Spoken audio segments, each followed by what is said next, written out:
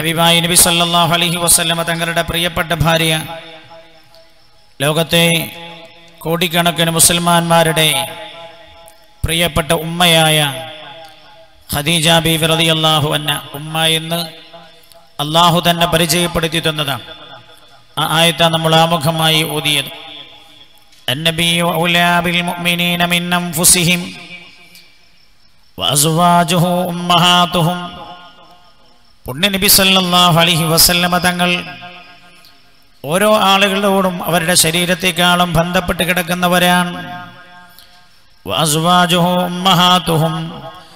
റസൂലുള്ളാഹി സല്ലല്ലാഹു അലൈഹി വസല്ലമ തങ്ങളുടെ ഭാര്യമാർ ലോക മുഅ്മിനീങ്ങളുടെ മുസ്ലിങ്ങളുടെ ഉമ്മയാണ് എന്ന് അള്ളാഹു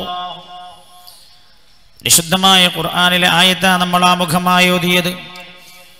അള്ളാഹു നമ്മുടെ ഉമ്മ എന്ന് പറഞ്ഞു പരിചയപ്പെടുത്തി തന്ന ഒരു മഹതിയെ കുറിച്ചാണ് നമ്മൾ ഇന്ന് സംസാരിക്കുന്നത്. പുണ്യ നബി സല്ലല്ലാഹു അലൈഹി വസല്ലമ തങ്ങളെയും തന്റെ പ്രിയപ്പെട്ട ഭക്തിയെയും ലോകത്തെ ഏറ്റവും വിശുദ്ധമായി ജീവിതം നയിച്ച ആ മഹൽ വ്യക്തിത്വങ്ങളെ പുണ്യ നബി സല്ലല്ലാഹു അലൈഹി വസല്ലമ തങ്ങളെ പോലെ ഒരു വ്യക്തിയെ കാണാൻ ലോക ചരിത്രത്തിൽ കഴിയുന്നില്ല എന്ന് ഇസ്ലാമേതര പ്രത്യയശാസ്ത്രങ്ങളുടെ വാക്താക്കളും ആധുനിക ലോകത്തെ ചിന്തകന്മാരും പ്രശംസിച്ചു പറഞ്ഞ ആ മഹാൻ. എല്ലാവിധ അനാചാരങ്ങളും നീചകൃത്യങ്ങളും നിലനിന്ന് നീരകൃത്യങ്ങളും നിലനിരുന്നിരുന്ന ഒരു ഒരു നാട്ടിൽ പവിത്രമായ ശുദ്ധ ജീവിതം നയിച്ച പുണ്യനബി സല്ലല്ലാഹു അലഹി വസല്ലം. മാത്രമല്ല പുണ്യനബി സല്ലല്ലാഹു അലൈഹി വസല്ലം തങ്ങളെ കള്ളനെന്നും ആരണക്കാരനെന്നും പല രീതിയിലുമുള്ള ആക്ഷേപങ്ങളും ആ നാട്ടുകാർ നടത്തിയെങ്കിലും ഒരിക്കലും മുഹമ്മദ് നബി സല്ലല്ലാഹു അലഹി വസല്ലമ തങ്ങൾ മഹാനായ പ്രവാചകനെ കുറിച്ച് കാമുകനായിരുന്നുവെന്നോ പ്രേമ ലാല- ലീലാദികൾ നടത്തിയിരുന്ന ആളായിരുന്നോ എന്ന് ആ നാട്ടുകാർ പോലും പുണ്യ നബി സല്ലല്ലാഹു അലൈഹി വസല്ലമ തങ്ങളെ വിശേഷിപ്പിച്ചിട്ടില്ല. മഹാനായ നബി സല്ലാഹു അലഹി വസ്ലമ തങ്ങളുടെ പ്രഥമ ഭാര്യ ലോകത്ത് മുസ്ലിം കോടികളുടെ മുസ്ലിം ജനകോടികളുടെ പ്രിയപ്പെട്ട മാതാവ് ഖദീജ ബീവി റളിയല്ലാഹു അൻഹയെ കുറിച്ച് ഖദീജ ബീവി റളിയല്ലാഹു അൻഹ വിശുദ്ധ ഇസ്ലാം കടന്നു വരുന്നതിന് മുമ്പുള്ള ജീവിതം പോലും ആ മഹദിയുടേത് പവിത്രമായിരുന്നുവെന്ന് മക്കയുടെ ചരിത്രം രേഖപ്പെടുത്തുന്നുണ്ട്. അതുകൊണ്ട് തന്നെ ഇസ്ലാമിന് മുമ്പേ ഖദീജ ബീവി നൽകിയിരുന്ന ഒരു പേരുണ്ട് താഹിറ എന്നായിരുന്നു ആ പേര്. പേര് അറബി ഭാഷ അറിയുന്ന എല്ലാവർക്കും അറിയാം. താഹിറ എന്ന് പറഞ്ഞാൽ ശുദ്ധമായ ജീവിതം നയിക്കുന്നവൾ എന്നാണ് അതിന്റെ അർത്ഥം. അത് പിതാവായ ഹുബൈലത് നൽകിയ പേരല്ല. ഖദീജ ബീവി റളിയല്ലാഹു സംശുദ്ധമായ ജീവിതം കാരണം ആ നാട്ടുകാർ ഖദീജ ബീവി അള്ളാഹു അൻഹാക്ക് നൽകിയ പേരാണ് താഹിറ എന്ന്. ഖദീജ ബീവി അള്ളാഹു അൻഹ മക്കയിലെ പ്രമുഖ കച്ചവടക്കാരനായിരുന്ന ഹുവൈലിദിന്റെ മകളാണ്. ഹുവൈലിദിന്റെ മകളാണ് ഖദീജ ബീവി അള്ളാഹു അൻഹ. ഖുവൈലിദ് മഹാനായ നബി സല്ലല്ലാഹു അലൈഹി വസല്ലമ തങ്ങളുടെ കുടുംബമായ ഖുറൈശ് കുടുംബത്തിൽപ്പെട്ട ആളാണ് ഹുവൈലിദ് ഹുവൈലിദ് മക്കയിലെ പ്രമുഖനായ കച്ചവടക്കാരനായിരുന്നു. ഖുവൈലിദിന് മക്കയിൽ വലിയ സ്ഥാനവുമാനവും ഉണ്ടായിരുന്നു ജാഹിലിയത്തിന്റെ ജാഹിലിയത്തിൽ ഉണ്ടായിരുന്ന തിന്മകളൊന്നും ആ ജീവിതത്തെ ഗ്രസിച്ചിരുന്നില്ല. മാന്യമായി ജീവിച്ചിരുന്ന ആരായിരുന്നു ഹൊവൈലിൻ? കച്ചവടം ചെയ്ത് വലിയ ബിസിനസ് സാമ്രാജ്യം കെട്ടിപ്പടുത്ത് ജീവിച്ചു പോയിരുന്ന ഹൊവൈലിൻ ആ ഹുവൈലിന് മക്കയിലും ജനങ്ങൾക്കിടയിൽ വലിയ സ്ഥാനമുണ്ടായിരുന്നു. അദ്ദേഹത്തിന്റെ മക്കയിൽ ജനങ്ങൾക്കിടയുണ്ടായിരുന്ന അംഗീകാരം വർദ്ധിപ്പിക്കാനിടയായ ഒരു സംഭവത്തെക്കുറിച്ച് ചരിത്രം പറയുന്നുണ്ട്. യമൻ രാജാവായിരുന്ന തുബ്ബ് എന്ന് പറയുന്ന ആൾ പരിശുദ്ധമായ ഹജ്ജ് കർമ്മത്തിനായി മക്കയിൽ വന്നു. തുബ്ബ് മക്കയിൽ വന്നപ്പോ ഹജ്ജ് മാത്രമായിരുന്നില്ല തുബ്ബിന്റെ ലക്ഷ്യം. തുബ്ബ് വന്നത് മക്കയിൽ വരികയും തന്റെ സൈനികരെ ഉപയോഗപ്പെടുത്തി പരിശുദ്ധമായ കാബാലയത്തിന്റെ മൂലയിലുള്ള ഹജൽ സ്വത് മോട്ടിച്ചെടുക്കുകയും അത് യമനിൽ കൊണ്ടുപോയി.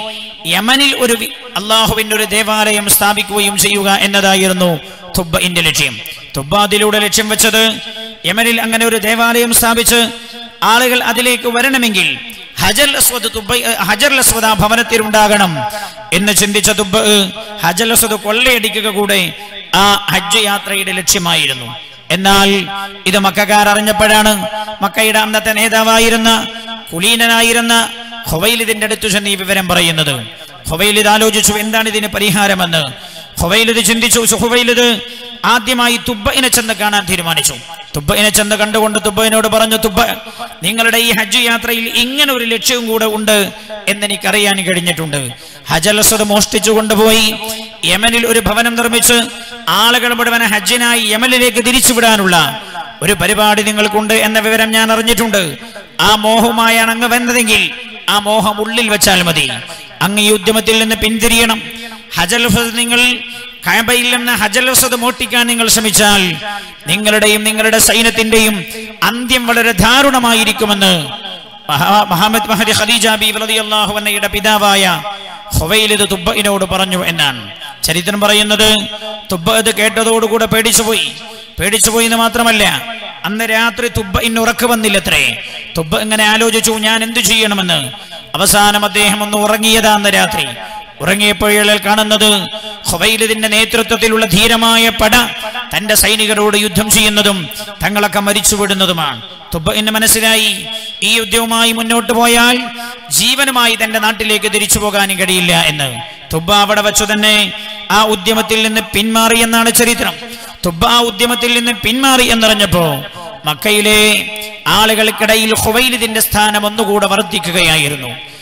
ഈ ഹുവൈലിദിന്റെ ഈ ഹുവൈലിദിന്റെ മകളായി ജനിച്ച ആളാണ് ഖദീജ ബീവിറതിയല്ലാഹുവന്ന ഖദീജ ബീവിറതിയല്ലാഹുവന്നയുടെ മാതാവ് അബ്ദുമനാഫിന്റെ പുത്രിയായ ഹാലയുടെ മകൾ ഫാത്തിമ ബിൻത് സഈദാണ് ഖദീജ ബീവി റളിയല്ലാഹു അൻഹയുടെ മാതാവ്. ഹുവൈലിദും ഫാത്തിമയും തമ്മിലുള്ള വിവാഹത്തിൽ അവർക്ക് നാലു മക്കൾ ഉണ്ടായിട്ടുണ്ട്. അതിൽ ഒന്ന് അവ്വാം മറ്റൊന്ന് ഹിസാം മറ്റൊന്ന് ഹാല. നാലാമത്തെ ആളാണ് ഖദീജ ബീവി റളിയല്ലാഹു അൻഹ. ഖദീജ ബീവി റളിയല്ലാഹു അൻഹ ഖദീജ ബീവി റളിയല്ലാഹു അൻഹയുടെ ആദ്യത്തെ വിവാഹം നടക്കുന്നത് ഖദീജ ബീവിയുടെ പതിനഞ്ചാമത്തെ വയസ്സിലാണ്. ഖദീജ ബീവി റളിയല്ലാഹു അൻഹയുടെ ആദ്യത്തെ ഭർത്താവ് ഹിന്ദ് ബിൻ സുറാറ മിൻ തമീം. തമീം ഗോത്രക്കാരനായ സുറാറയുടെ മകനായ ഹിന്ദ് ആണ് ഖദീജ ബീവി റളിയല്ലാഹു അൻഹയെ ആദ്യം വിവാഹം കഴിച്ചത്. ഖദീജ ബീവി റളിയല്ലാഹു അൻഹയുടെ പതിനഞ്ചാമത്തെ വയസ്സിലായിരുന്നു ആദ്യത്തെ വിവാഹം നടന്നത്. ആ വിവാഹം വളരെ മംഗളമായി നടന്നു എന്ന് മാത്രമല്ല ഖദീജ അൻഹ സ്നേഹനിധിയായ ഒരു പെണ്ണായിരുന്നു.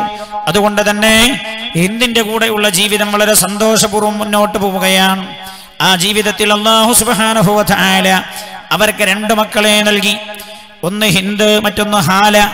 രണ്ട് മക്കളെ അള്ളാഹു നൽകി. പക്ഷേ ആ കുടുംബ ഏറെ നീണ്ടു നിന്നില്ല. ഖദീജ ബീബി റളിയല്ലാഹു അൻഹയുടെ ആദ്യത്തെ ഭർത്താവ് ഹിന്ദ് മരണപ്പെടുകയായി. ബീബി അൻഹ വിധവയായി. തന്റെ രണ്ട് മക്കളെയും പോറ്റി വളർത്തിയ ഖദീജ അതി അള്ളാഹു അൻഹ ജീവിക്കുമ്പോഴാണ് ഖദീജ ബീവിക്ക് മറ്റൊരു വിവാഹാന്വേഷണം വരുന്നത്. രണ്ടാമതായി വിവാഹാന്വേഷണം വന്നത് അത്തീഖ് ബിൻ ആബിദിൽ മഖ്സൂമി എന്ന് പറയുന്ന ആളാണ് ഖദീജ ബീവിയെ വിവാഹാന്വേഷണവുമായി എത്തിയത്. അതീഖ് എന്നായിരുന്നു അദ്ദേഹത്തിന്റെ പേര്. ഖദീജ ബീവി റളിയല്ലാഹു അൻഹ വിധവയായി കഴിയുന്ന പെണ്ണാണ് ഖദീജ വിവാഹം ചെയ്തു കൊടുത്തു കുടുംബക്കാർ. അങ്ങനെ അത്തീഖുമായുള്ള വിവാഹ ജീവിതം ആരംഭിച്ചു. അള്ളാഹുവിന്റെ വിധി എന്ന് പറയട്ടെ ആ ജീവിതത്തിൽ ഖദീജ ബീവി റളിയല്ലാഹു അൻഹ ഒരു കുഞ്ഞു ജനിച്ചു. ആ കുഞ്ഞിന്റെ പേര് ഹിന്ദ് എന്നായിരുന്നു. അത്തീഖ് അധികം താമസിയാതെ അതീഖും ഖദീജ ബീവി റളിയല്ലാഹു അൻഹയുടെ ജീവിതത്തിൽ നിന്ന് അകന്നു പോവുകയാണ്. അള്ളാഹു സുബ്ഹാനഹു വ തആല അത്തീഖിനെയും തന്റെ ജീവിതത്തിന്റെ ജീവിതത്തിൽ അള്ളാഹു തിരിച്ചു വിളിച്ചു. ഖദീജ ബീവി റളിയല്ലാഹു അൻഹ രണ്ട് പുരുഷന്മാരുമായി കുടുംബജീവിതം നയിച്ചു. ആ രണ്ട് ബന്ധങ്ങളിലായി മൂന്ന് മക്കളെ അള്ളാഹു സുബാനുഭവത്തായ ഖദീജ ബീവി റളിയല്ലാഹു അൻഹാക്ക് നൽകി. ഖദീജ ബീവി റളിയല്ലാഹു അന്നാക്ക് അതിനുശേഷവും മക്കയിൽ നിന്ന് പരിസരങ്ങളിൽ നിന്ന് പല വിവാഹാന്വേഷണങ്ങളും വന്നു. കാരണം ഖദീജ ബീവി റളിയല്ലാഹു അൻഹ കുലീനയാണ്. നല്ല സൗന്ദര്യമുള്ള പെണ്ണാണ്. മാത്രമല്ല നല്ല സാമ്പത്തിക നിലവാരത്തിലുള്ള സ്ത്രീയുമാണ് അവരുടെ കുടുംബം അങ്ങനെയാണല്ലോ. പിതാവ് തന്നെ മക്കയിലെ ഏറ്റവും നല്ല കച്ചവടക്കാരന്. അതുകൊണ്ട് തന്നെ പല വിവാഹാന്വേഷണങ്ങളും വന്നു. പക്ഷേ ഖദീജ ബീവി റളിയല്ലാഹു അന്ന ആ വിവാഹാന്വേഷണങ്ങൾക്കൊന്നും ഖദീജ ബീവി ചെവിഴുകൊടുത്തില്ല കുടുംബക്കാർ പലരും നിർബന്ധിച്ചു ഖദീജ ബീവെ വീണ്ടും വിവാഹിതയാവാൻ. ഖദീജ ബീവി റളിയല്ലാഹു അന്ന കുടുംബജീവിതത്തിലേക്ക് കടന്നു വന്ന് രണ്ട് ഭർത്താക്കന്മാർ മരണപ്പെട്ട ദുഃഖത്തിൽ വേദനയിൽ. ഇനി എനിക്കൊരു കുടുംബജീവിതം വേണ്ട എന്ന് തീരുമാനിച്ചു. മാത്രമല്ല അള്ളാഹു തആല ആ രണ്ട് കുടുംബജീവിതത്തിലൂടെ തനിക്ക് സമ്മാനിച്ച മൂന്ന് മക്കളെയും പോറ്റി വളർത്തി ജീവിക്കാനാണ് ഖദീജ ബീവി അള്ളാഹു എന്നെ തീരുമാനിച്ചത്. മക്കളെ പോറ്റി വളർത്താനായി കച്ചവടത്തിൽ കൂടുതൽ ശ്രദ്ധ കേന്ദ്രീകരിക്കാൻ തീരുമാനിച്ചു. പിതാവ് വലിയ ബിസിനസ്സുകാരനാണല്ലോ. അൻഹ ചരിത്രം പറയുന്നത് പിന്നെ കച്ചവടത്തിലായി ഏറെ താല്പര്യം. നമ്മൾ മനസ്സിലാക്കേണ്ട ഒരു കാര്യമുണ്ട് ഇവിടെ. ഖദീജ കച്ചവടത്തിലേറെ ശ്രദ്ധ ചൊലുത്തിയാണ് പിന്നെ ജീവിച്ചത്. ഏതു കാലഘട്ടത്തിൽ? ജാഹിലിയ കാലഘട്ടത്തിലാണ് അള്ളാഹുവിന്റെ പരിശുദ്ധമായ ദീനിന്റെ പ്രകാശം റൂഹുല്ലാഹി ഈസ അലൈഹിസ്സലാമിലൂടെ അള്ളാഹു നൽകിയ സന്ദേശങ്ങളെല്ലാം അസ്തമിച്ചു പോവുകയും പുണ്യ നബി സല്ലല്ലാഹു അലൈഹി വസല്ലമ തങ്ങൾ പരിശുദ്ധ ദീനിന്റെ വെളിച്ചവുമായി കടന്നു വന്നിട്ടില്ല. അതിന് മുമ്പുള്ള കാലമാണ് ജാഹരിയത്തിലെ എല്ലാ തിന്മകളും തിന്മകളും കൊടികുത്തി വാഴുന്ന കാലമാണ്. ഖദീജ ബീവി അന്ന് കച്ചവടം ചെയ്തിരുന്നത് ഖദീജ ബീവി തന്നെ നേരിട്ട് പോയി കച്ചവടം ചെയ്തതല്ല. ചരിത്രം പരിശോധിച്ചാൽ കാണാം. ഖദീജ ബീവി റളിയല്ലാഹു കുടുംബക്കാരെ അതേപോലെ ഉദ്യോഗസ്ഥന്മാരെ നിയോഗിച്ചുകൊണ്ടായിരുന്നു കച്ചവടം ചെയ്തിരുന്നത് എന്ന് ജാഹിലിയ കാലഘട്ടത്തിൽ പോലും മാന്യമായി ജീവിച്ചിരുന്ന പെണ്ണാണ്. അനാവശ്യമായി വെളിയിൽ ഇറങ്ങാറില്ല. വലിയ ബിസിനസ് ലോകം സാമ്രാജ്യം കെട്ടിപ്പടുത്ത ഖദീജ ബീവ്രതയുള്ള റളിയല്ലാഹു വീട്ടിന്റെ അകത്തിരുന്നായിരുന്നു കച്ചവടം ചെയ്തിരുന്നത്. ഉദ്യോഗസ്ഥന്മാരെ കണ്ടെത്തുകയും അവർ മുഖേന കച്ചവട സംഘത്തെ അയക്കുകയും അങ്ങനെ കച്ചവടം ചെയ്ത് ലാഭമുണ്ടാക്കുകയുമായിരുന്നു ഖദീജ ബീവി അള്ളാഹു അൻഹ ചെയ്തിരുന്നത്. ആ ആയിടെയാണ് ഖദീജ ബീവി റളിയല്ലാഹു അൻഹ. നല്ല വിശ്വസ്തനായ ഒരു ഉദ്യോഗസ്ഥനെ ആവശ്യമായി വന്നത്. ബിസിനസ് സാമ്രാജ്യം ഇങ്ങനെ വളർന്നു വള- പന്തലിച്ചു കൊണ്ടിരിക്കുകയാണ് അപ്പോഴാ ഖദീജ ബീവി റളിയല്ലാഹു അൻഹ നല്ല ഒരു മാനേജറെ ഈ ബിസിനസ്സുകളെല്ലാം നിയന്ത്രിച്ചു കൊണ്ടുപോകാൻ പറ്റാവുന്ന നല്ലൊരു മാനേജറെ ആവശ്യമായി വന്നത്. മക്കയിലും പരിസര പ്രദേശങ്ങളിലുമെല്ലാം ഖദീജ ബീവ്രതി അള്ളാഹു എന്നെ അന്വേഷിച്ചു തുടങ്ങി. അപ്പോഴാണ് ആരോ ഖദീജ ബീവി അള്ളാഹു എന്നയോട് ചെന്ന് പറഞ്ഞത് മക്കയിൽ ഇങ്ങനെ ഒരു ചെറുപ്പക്കാരനുണ്ട്. അല്ലമീൻ എന്നാണ് ആളുകൾ അയാളെ വിളിക്കാറുള്ളത്. വിശ്വസ്തനെന്ന് വളരെ വിശ്വസ്തനാണ് ആൾ. മാത്രമല്ല പരമപരിശുദ്ധമായി ജീവിതം നയിക്കുന്ന ആളാ. ജാഹിലിയത്തിന്റെ തിന്മകളൊന്നും ആ ജീവിതത്തെ സ്പർശിച്ചിട്ടില്ല. അല്ലമീൻ. എന്നാണ് ആളുകൾ അയാളെ വിളിക്കാറുള്ളത്. അയാൾ അങ്ങയുടെ ബിസിനസ് സാമ്രാജ്യം കൈകാര്യം ചെയ്യാൻ തുടങ്ങിയാൽ അങ്ങക്ക് പിന്നെ ആ വിഷയത്തിൽ ടെൻഷൻ അനുഭവിക്കേണ്ടി വരില്ല എന്നാണ് ഞങ്ങളുടെ അഭിപ്രായമെന്ന് ഖദീജ അൻഹ ഇത് കേട്ടു. കേട്ടപാട് അല്ലമീന്റെ അടുത്തേക്ക് ആളെ പറഞ്ഞ് മഹാനായ നബിയുന മുഹമ്മദ് മുസ്തഫ സല്ലല്ലാഹു അലൈഹി വസല്ലമ തങ്ങളെ ഖദീജ ബീവി റളിയല്ലാഹു അൻഹ തന്റെ ബിസിനസ് നിയന്ത്രിക്കാനുള്ള ഉദ്യോഗസ്ഥനായി ഖദീജ ബീവി തന്റെ വീട്ടിലേക്ക് ക്ഷണിച്ചു. പുണ്യ നബി സല്ലല്ലാഹു അലൈഹി വസല്ലമ തങ്ങൾ ആ സമയത്ത് ക്ഷണിക്കാൻ വേണ്ടി വന്ന ആളുകളോട് പറഞ്ഞു ഞാനല്ല എന്റെ കാര്യത്തിൽ തീരുമാനമെടുക്കുന്നത്. എന്റെ കാര്യത്തിൽ തീരുമാനമെടുക്കുന്നത് എന്റെ ഇളയുപ്പയാണ്. എന്റെ പ്രിയപ്പെട്ട ഉപ്പ ജന്മത്തിന് മുമ്പേ മരണപ്പെട്ടു പോയതാണ്. പിന്നെ എന്നെ വളർത്തിയത് എന്റെ ഉമ്മയാ. ആറാമത്തെ വയസ്സിൽ എന്റെ ഉമ്മയും മരണപ്പെട്ടു പോയി. പിന്നെ എന്നെ ഏറ്റെടുത്തത് എന്റെ പിതാമഹനായിരുന്നു. എട്ടാം വയസ്സിൽ പിതാമഹനും പോയി. പിന്നെ ഈ കാലം അത്രയും എന്നെ ഏറ്റെടുത്ത് പോറ്റിയതും വളർത്തിയതും എന്റെ പ്രിയപ്പെട്ട ഇളയുപ്പയായ അബൂ താലിബാൻ അതുകൊണ്ട് അബൂ താലിബിനോടൊരു കാര്യവും അന്വേഷിക്കാതെ ഞാൻ ചെയ്യാറില്ല. ഇളയുപ്പ എന്നോ ഇളയുപ്പ എനിക്ക് സമ്മതം തന്നാൽ ഞാൻ ഇളയുപ്പ എനിക്ക് സമ്മതം തന്നാൽ ഞാൻ ഹദീജ ബീവിയുടെ കച്ചവടത്തിന്റെ ചുമതല ഏറ്റെടുക്കാമെന്ന് ആഗതരായ ആളുകൾ അബൂ താലിബിനോട് സംസാരിച്ചു. അബൂ താലിബ് മകനോട് പറഞ്ഞു മഹാനായി നബി സല്ലല്ലാഹു അലൈഹി വസല്ലമ തങ്ങളോട് അന്ന് റസൂലുള്ളാഹിക്ക് നബുവത്ത് ലഭിച്ചിട്ടില്ലല്ലോ. ഇരുപത്തിയഞ്ച് വയസ്സാ പ്രായം.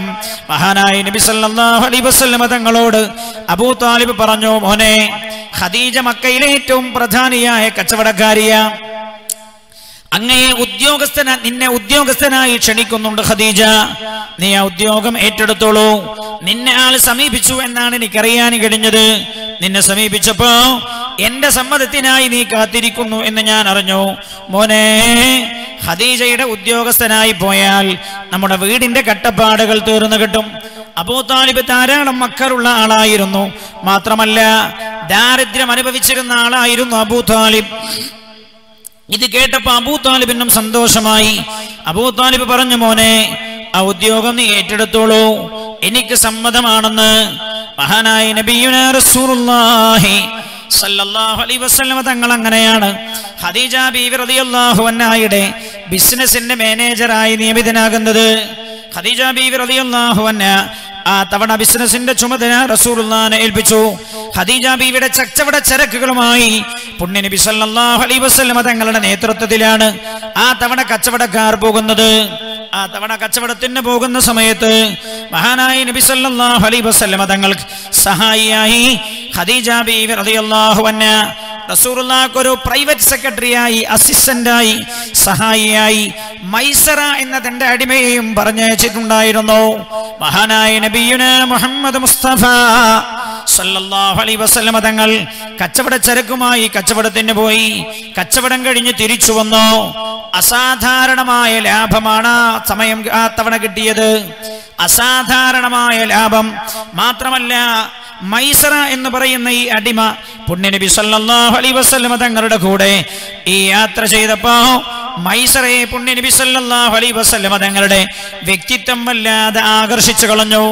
പുണ്യനബി സല്ലല്ലാഹു അലൈഹി വസല്ലമ തങ്ങളുടെ പെരുമാറ്റം അള്ളാഹുവിന്റെ ഹബീബിന്റെ സ്വഭാവം എല്ലാം മൈസറയെ വല്ലാതെ ആകർഷിച്ചു കളഞ്ഞു.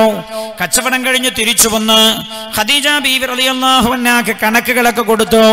വളരെ കൃത്യമായ കണക്കുകൾ വിശ്വസ്തമായ രീതിയിലുള്ള ഇടപാടുകൾ. ഇതൊക്കെ കഴിഞ്ഞ് പുണ്യ നബി സല്ലല്ലാഹു അലൈഹി വസല്ലം തന്റെ വീട്ടിലേക്ക് പോയപ്പോഴാ മൈസറ ഖദീജ ബീവിയോട് പറഞ്ഞത് തന്റെ യജമാനത്തിയോട് മൈസർ പറയുകയാണ് അത് സാധാരണ കച്ചവടത്തിന് നമ്മൾ അയക്കാറുള്ള പോലെ ഉള്ള ഒരാളല്ല ഇത്. ഖദീജ ബീവിയോട് മൈസറ പറയുകയാണ് മുഹമ്മദിന്റെ ജീവിതം എന്നെ വല്ലാതെ ആകർഷിച്ചു കളഞ്ഞുവെന്ന്. ഈ മൈസറയുടെ വാക്കുകൂടെ ഖദീജ ബീവി റളിയല്ലാഹു അൻഹായിൽ പുണ്യ നബി സല്ലല്ലാഹു അലൈഹി വസല്ലമ തങ്ങളോട് ഇഷ്ടവും സ്നേഹവും വർദ്ധിപ്പിക്കാനിടയായി. ഖദീജ ബീവി റളിയല്ലാഹു അൻഹ പുണ്യ നബി സല്ലല്ലാഹു അലൈഹി വസല്ലമ തങ്ങൾ കച്ചവടം കഴിഞ്ഞ് തിരിച്ചു വന്ന് കണക്ക് സമർപ്പിച്ചപ്പോൾ തന്നെ ഖദീജ ബീവി റളിയല്ലാഹു അൻഹക്ക് പുണ്യ നബി സല്ലല്ലാഹു അലൈഹി വസല്ലമ തങ്ങളോട് മുഹമ്മദ് എന്ന ചെറുപ്പക്കാരനോട് നേരിട്ട് ഉണ്ടായതിനേക്കാളും വലിയ സ്നേഹം മനസ്സിന്റെ അകത്ത് നാം പെടുത്തു. പക്ഷേ ഖദീജ റളിയല്ലാഹു ഒരിക്കലും മുഹമ്മദ് എന്ന ചെറുപ്പക്കാരനോട് നേരിട്ട് എനിക്ക് നിങ്ങളോട് സ്നേഹമുണ്ടെന്നോ ഞാൻ നിങ്ങളെ സ്നേഹിക്കുന്നുവെന്നോ ഞാൻ നിങ്ങളെ പ്രേമിക്കുന്നുവെന്നോ ഒന്നും ഖദീജ ബീവി പറഞ്ഞിട്ടില്ല. വളരെ ശ്രദ്ധിക്കണം. സിനിമയിൽ ഈ പാശ്ചാത്തലമാണ് വളരെ വകൃതമായി വളരെ മോശമായി ചിത്രീകരിക്കാൻ ശ്രമിച്ചത്. ഇവിടെ ചരിത്രത്തിന്റെ യാഥാർത്ഥ്യം നമ്മൾ മനസ്സിലാക്കണേ. കൗമാരക്കാരായ കുട്ടികളോടും അതേപോലെ എന്റെ പ്രിയമുള്ള സഹോദരിമാരോടുമൊക്കെ ഞാൻ ഓർമ്മപ്പെടുത്തുകയാണ്. ചെറുപ്പക്കാരോടും ചെറുപ്പക്കാരികളോടും അള്ളാഹുവിന്റെ ഹബീബും പ്രേമിച്ചാണ് വിവാഹം ചെയ്തത് എന്ന് ഈ മുസ്ലിം ഉമ്മത്തിനെ ബോധ്യപ്പെടുത്താൻ ശ്രമിക്കുകയാണ്. ആ പാശ്ചാത്തലം എന്ന് അത് പഠിച്ച ഏതൊരാൾക്കും മനസ്സിലാക്കാൻ കഴിയും. എന്നാൽ സത്യന്തമായി സംഭവിച്ച യാഥാർത്ഥ്യം എന്താ? ഖദീജ ബീവി റളിയല്ലാഹു അൻഹാ ഹബീബായ നബി സല്ലല്ലാഹു അലൈഹി വസല്ലമ തങ്ങളുടെ അള്ളാഹുവിന്റെ ഹബീബിന്റെ ജീവിതത്തിലാണ് ഖദീജ ബീവി റളിയല്ലാഹു അൻഹ ആകൃട്ടയായത് റസൂലുള്ളാഹിന്റെ വിശ്വസ്തതയിലാണ് മാത്രമല്ല മൈസറ എന്ന് പറയുന്ന ഈ അടിമ പുണ്യ നബി സല്ലല്ലാഹു അലൈഹി വസല്ലമ തങ്ങളുടെ കൂടെയുള്ള യാത്രയുടെ അനുഭവം പറഞ്ഞപ്പോ ആ ശുദ്ധമായ വ്യക്തിത്വത്തിലാണ് ഖദീജ ബീവി റളിയല്ലാഹു അൻഹ ആകൃട്ടയായത് അതല്ലാതെ തൊളിയുടെ വെളുപ്പ് കണ്ടല്ല സൗന്ദര്യം കണ്ടല്ല പ്രേമബദ്ധമായി തുടങ്ങിയതല്ല ആ ജീവിതം.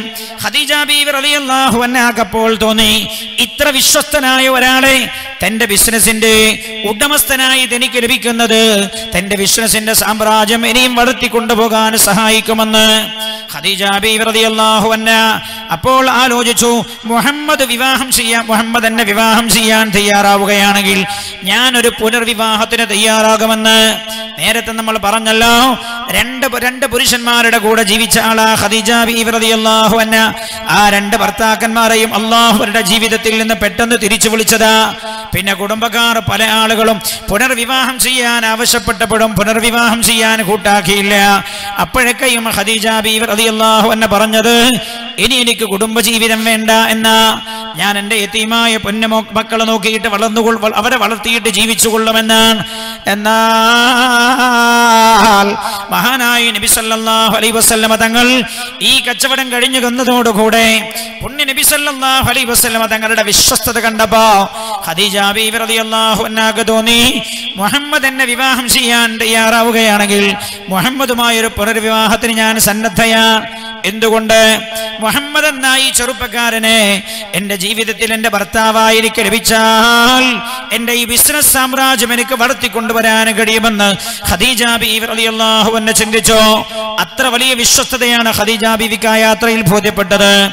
ഇത് തീരുമാനം ഇങ്ങനെ ചിന്തിച്ച ഖദീജ ബീവി പുണ്യ നബി സല്ലല്ലാഹു അലൈഹി വസല്ലമ തങ്ങളോട് തന്റെ ഉദ്യോഗസ്ഥനോട് തന്റെ മാനേജറോട് നേരിട്ട് പറയുകയില്ല ചെയ്തത്. ഇവിടെയാ ആധുനിക ലോകം. ഖദീജ ബീവി ആ നാട്ടുകാർ താഹിറ ഒളിച്ചോടിപ്പോയ പെണ്ണ് എന്നല്ല ഖദീജ ബീവിക്ക് അവർ പേരിട്ടത്. താഹിറ സംശുദ്ധമായ ജീവിതം നയിക്കുന്ന പെണ്ണ് എന്ന സംശുദ്ധമായ ജീവിതം നയിക്കുന്ന പെണ്ണ് എന്ന് മക്കാര ഖദീജ ബീവിക്ക് പേരിട്ടത്. ഖദീജ ബീവി റളിയല്ലാഹു അൻഹയുടെ ഹൃദയത്തിൽ ഈ ആഗ്രഹം അമ്പെടുത്തപ്പോൾ ഖദീജ ബീവി റളിയല്ലാഹു അൻഹ അവരുടെ പ്രിയപ്പെട്ട പിതാവെന്ന് ജീവിച്ചിരിക്കുന്നില്ല. ഹുവൈലിദ് വഫാത്തായി ഹുവൈലിദ് മരിച്ചു പോയിട്ടുണ്ട്. ഹുവൈലിദിന്റെ സഹോദരനായ ഇളയപ്പയായ അംബ്രിനെ വിളിച്ചിട്ട് പറഞ്ഞു അംബ്ര ഇളയപ്പയ. ഇളയപ്പയോട് പറഞ്ഞു പിതാവില്ലെങ്കിൽ പിന്നെ പിതാവിന്റെ സ്ഥാനത്ത് കൈകാര്യം ചെയ്യേണ്ടത് പിതാവിന്റെ സഹോദരങ്ങളാണല്ലോ. അംബ്രിനോട് പറഞ്ഞു ഇങ്ങനെ ഞാൻ ഈ തവണ ഉദ്യോഗസ്ഥനായി നിയോഗിച്ചത് മുഹമ്മദിനെയായിരുന്നു. മുഹമ്മദ് വല്ലാത്ത വിശ്വസ്തതയായി യാത്രയിൽ കാണിച്ചത്. അതുകൊണ്ട് മുഹമ്മദിനോട് എനിക്ക് വല്ലാത്ത താല്പര്യമുണ്ട്. മുഹമ്മദ് എന്നെ വിവാഹം ചെയ്യാൻ തയ്യാറാവുകയാണെങ്കിൽ ഞാനൊരു പുനർവിവാഹത്തിന് തയ്യാറാകുമെന്ന് ആരോടാ പറഞ്ഞത്? ഇളയപ്പയോടാണ് എനിക്ക് കെട്ടിച്ചു തരണം. കെട്ടിച്ചു തന്നില്ലെങ്കിൽ ഞാൻ ജീവൻ അപായപ്പെടുത്തുമെന്നല്ല. ഞാൻ ആത്മഹത്യ ചെയ്യുമെന്നല്ല. ഇല്ലെങ്കിൽ ഞാൻ രജിസ്റ്റർ വിവാഹം ചെയ്യുമെന്നും ഒന്നുമല്ല എന്റെ സമുദായമേ കേൾക്കണം നമ്മൾ. സ്വന്തം ഇളയപ്പയോട് പറഞ്ഞു. ഈ ഇളയപ്പയുടെ കം- കുടുംബത്തിലെ പല ആളുകളും ഹദീജ ബീവിയെ പലപ്പോഴും പുനർവിവാഹത്തിനായി പ്രേരിപ്പിച്ചതാ. അപ്പോഴൊന്നും ഹദീജ ബീവി കൂട്ടാക്കിയില്ല. ഹദീജ ബീവി റളിയല്ലാഹു അൻഹ ഇത് പറഞ്ഞപ്പോ ഇളയപ്പയായ അംബ്ര ഈ വിവരം നേരെ അബൂ താലിബിനെ അറിയിക്കുകയാണ്. മഹാനായ നബി സല്ലല്ലാഹു അലൈഹി വസല്ലമ തങ്ങളെയല്ലേ അറിയിക്കുന്നത് അബൂ താലിബിനെ കാരണം എന്താ മുഹമ്മദിന്റെ പിതാവ് ജീവിച്ചിരിക്കുന്നില്ല. മുഹമ്മദിന്റെ കാര്യങ്ങളൊക്കെ കൈകാര്യം ചെയ്യുന്നത് മുഹമ്മദ് എന്ന ചെറുപ്പക്കാരന്റെ കാര്യങ്ങൾ കൈകാര്യം ചെയ്യുന്നത് പിതാവിന്റെ സഹോദരനായ അബൂത്താലിബ താലിബ.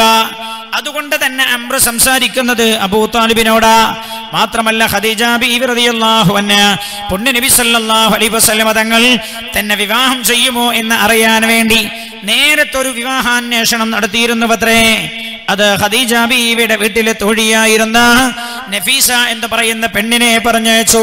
പറഞ്ഞയച്ചിട്ട് പൊണ്ണു നബി സല്ലല്ലാഹു അലൈഹി വസല്ലമ തങ്ങളോട് ഇങ്ങനൊരു ആഗ്രഹം പറയിച്ചു പത്രേ ഖദീജ ബീവി റളിയല്ലാഹു അൻഹ അങ്ങ് ഖദീജ ബീവിയെ വിവാഹം ചെയ്യാൻ തയ്യാറാവുകയാണെങ്കിൽ ഖദീജ ബീവി ഒരു പുനർവിവാഹത്തിന് തയ്യാറാകുമെന്ന്.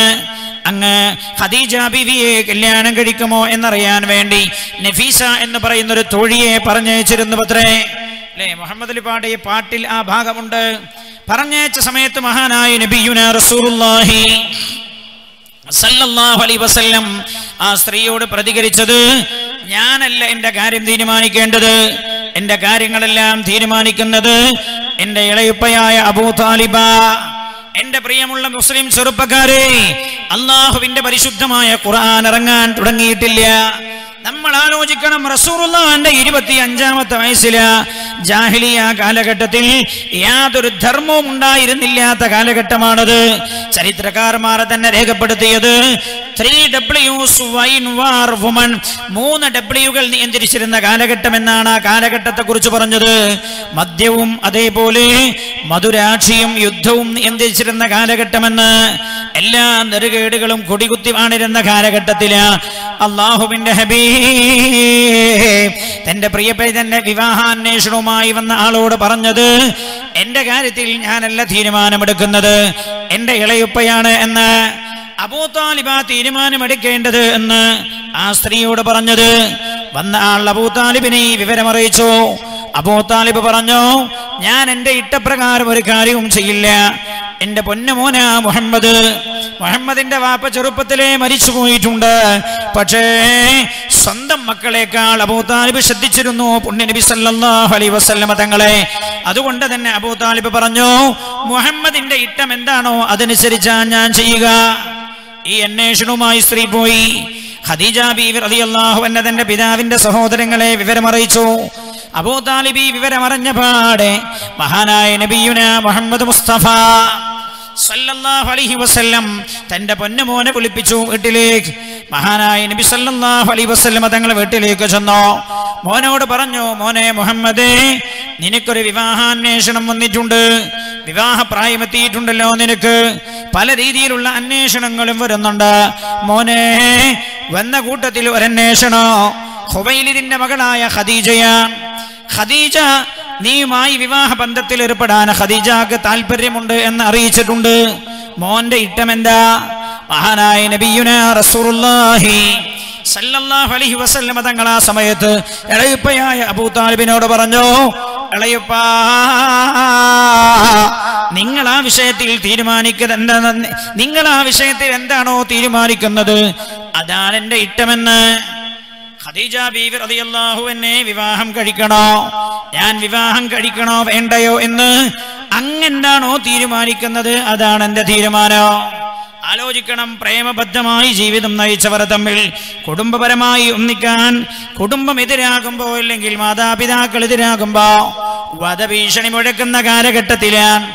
അതിന് ചൂട്ടുപിടിക്കാൻ വേണ്ടി മഹാനായ നബി സല്ലല്ലാഹു അലൈഹി വസല്ലമ തങ്ങളുടെ പവിത്രമായ കുടുംബജീവിതത്തെ വികലമാക്കി ചിത്രീകരിക്കാൻ ശ്രമിച്ചവർ അവർ ചരിത്രം പഠിക്കണേ എന്ന് ഞാൻ ഓർമ്മപ്പെടുത്തുകയാണ്. മാത്രമല്ല ഈ സംവിധായകനടക്കം മുസ്ലിമിന്റെ പേരാണല്ലോ നമ്മൾ കാണുന്നത്.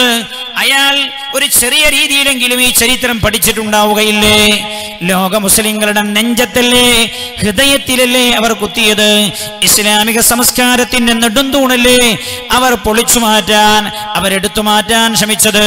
മഹാനായ നബി സല്ലല്ലാഹു അലൈഹി വസല്ലം അബൂ താലിബിനോട് പറഞ്ഞു അങ്ങയുടെ ഇട്ടമെന്താണോ അതാണ് എന്റെ ഇട്ടമെന്ന്. പഴയ കാലത്തൊക്കെ മക്കൾ അങ്ങനെയാ പറയാറുള്ളത് വാപ്പയോട് ഉമ്മയോട്. അല്ലേ? നിന്നെ വിവാഹം കഴിപ്പിക്കണം. ഇന്നാലിനൊരു പെണ്ണുണ്ട് നീ അതിനെ വിവാഹം കഴിക്കണമെന്ന് പറഞ്ഞാൽ നീ അവളെ വിവാഹം കഴിക്കണമെന്ന് പറഞ്ഞാൽ ഉപ്പയോട് പറയാറുള്ളത് ഉപ്പയുടെ ഇഷ്ടമെന്താണോ അതാണ് എന്റെ ഇഷ്ടമെന്താണ്. മഹാനായ നബി സല്ലല്ലാഹു അലൈഹി വസല്ലം ഖദീജ ബീവി റളിയല്ലാഹു അൻഹയുടെ കാര്യത്തിലുള്ള അന്വേഷണത്തിന് അബൂ താലിബിനോട് പറഞ്ഞ മറുപടിയും അതുതന്നെയാണ് അബൂ മഹാനായി നബി സല്ലല്ലാഹു അലൈഹി വസല്ലമ തങ്ങളുടെ മറ്റൊരു പിതൃവിനായിരുന്ന ഹംസ റളിയല്ലാഹു അൻഹുവിന്റെ നേതൃത്വത്തിൽ ഒരു സംഘം ആളുകളെ ഖദീജ ബീവി റളിയല്ലാഹു ഇളയപ്പയായ അംറിനെ കാണാൻ വേണ്ടി പറഞ്ഞയച്ചു. വിവാഹാന്വേഷണമാണ്. രജിസ്റ്റർ വിവാഹം ചെയ്തതല്ല ഒളിച്ചോടിപ്പോയതല്ല ആര് സമ്മതിച്ചില്ലെങ്കിലും ഞങ്ങൾ ഒന്നിച്ച് ജീവിക്കുമെന്ന് പറഞ്ഞതല്ല. അബൂ താലിബ് ഹംസ റളിയല്ലാഹു അൻഹുവിന്റെ നേതൃത്വത്തിൽ ഒരു സംഘം ആളുകളെ അംബ്ര അംബ്രനെ കാണാൻ വേണ്ടി പറഞ്ഞയച്ചു. വിവാഹാന്വേഷണവുമായി ചെന്നതാണ്. അതേപോലെ അമ്രും തന്റെ കുടുംബവുമെല്ലാം ഒത്തുചേർന്നു. അങ്ങനെ അവർ രണ്ടുപേരും വിവാഹിതരാവാ എന്ന കാര്യത്തിൽ ഇരു കുടുംബങ്ങൾക്കും സമ്മതമായി. ഇരു കുടുംബങ്ങളും തീരുമാനിച്ചു. അങ്ങനെ നിക്കാഹ് നടക്കുകയാ. വിവാഹം നടക്കുകയാ. ഇരു കുടുംബങ്ങളിലെയും പ്രതിനിധികൾ എഴുന്നേറ്റ് നിന്ന് അവരുടെ ഭാഗങ്ങൾ വിശദീകരിച്ചു. ഖദീജ ബന്ധുക്കൾ എഴുന്നേറ്റ് നിന്നുകൊണ്ട് പറഞ്ഞു ഖുറൈശികളുടെ കൂട്ടത്തിലെ കുലീനനായ ഒരാളുമായി തങ്ങളുടെ മകളെ വിവാഹം ചെയ്യുന്നതിൽ ഞങ്ങൾക്ക് വലിയ സന്തോഷമുണ്ട്. അതുകൊണ്ട് ഖദീജയെ നിങ്ങളുടെ മകനായ നിങ്ങളുടെ കുടുംബത്തിൽപ്പെട്ട മുഹമ്മദിനെ ഞങ്ങൾ വിവാഹം ചെയ്തു തന്നിരിക്കുന്നു എന്ന് ഉടനെ മഹാനായ നബി സല്ലല്ലാഹു അലൈഹി വസല്ലമ തങ്ങളുടെ ഇളയപ്പയായ അബൂ താലിബ് എഴുന്നേറ്റ് നിന്നു. എഴുന്നേറ്റ് നിന്നിട്ട് പറഞ്ഞു കുടുംബ പരമ്പരയിൽ നമ്മളുമായി യോജിക്കുന്ന ഖുറൈശി കുടുംബത്തിൽപ്പെട്ട ഒരാളെ തന്നെ ഞങ്ങളുടെ മകന് ഭാര്യയായി ലഭിച്ചതിൽ ഞങ്ങൾക്ക് സന്തോഷമുണ്ട്. അതുകൊണ്ട് മുഹമ്മദ് നിങ്ങൾ മുഹമ്മദിന് ഖദീജയെ വിവാഹം ചെയ്തു കൊടുത്തത് ഞങ്ങൾ അംഗീകരിച്ചിരിക്കുന്നു എന്ന് പറഞ്ഞതോടുകൂടെ അവർ തമ്മിലുള്ള വിവാഹം നിക്കാഹ് നടന്നു. ഖദീജ ബി ഹബീബായ നബിയുന മുഹമ്മദ് മുസ്തഫ സല്ലല്ലാഹു അലൈഹി തങ്ങളുടെ വീട്ടിലേക്ക് കൂട്ടിക്കൊണ്ടുവരാനായി.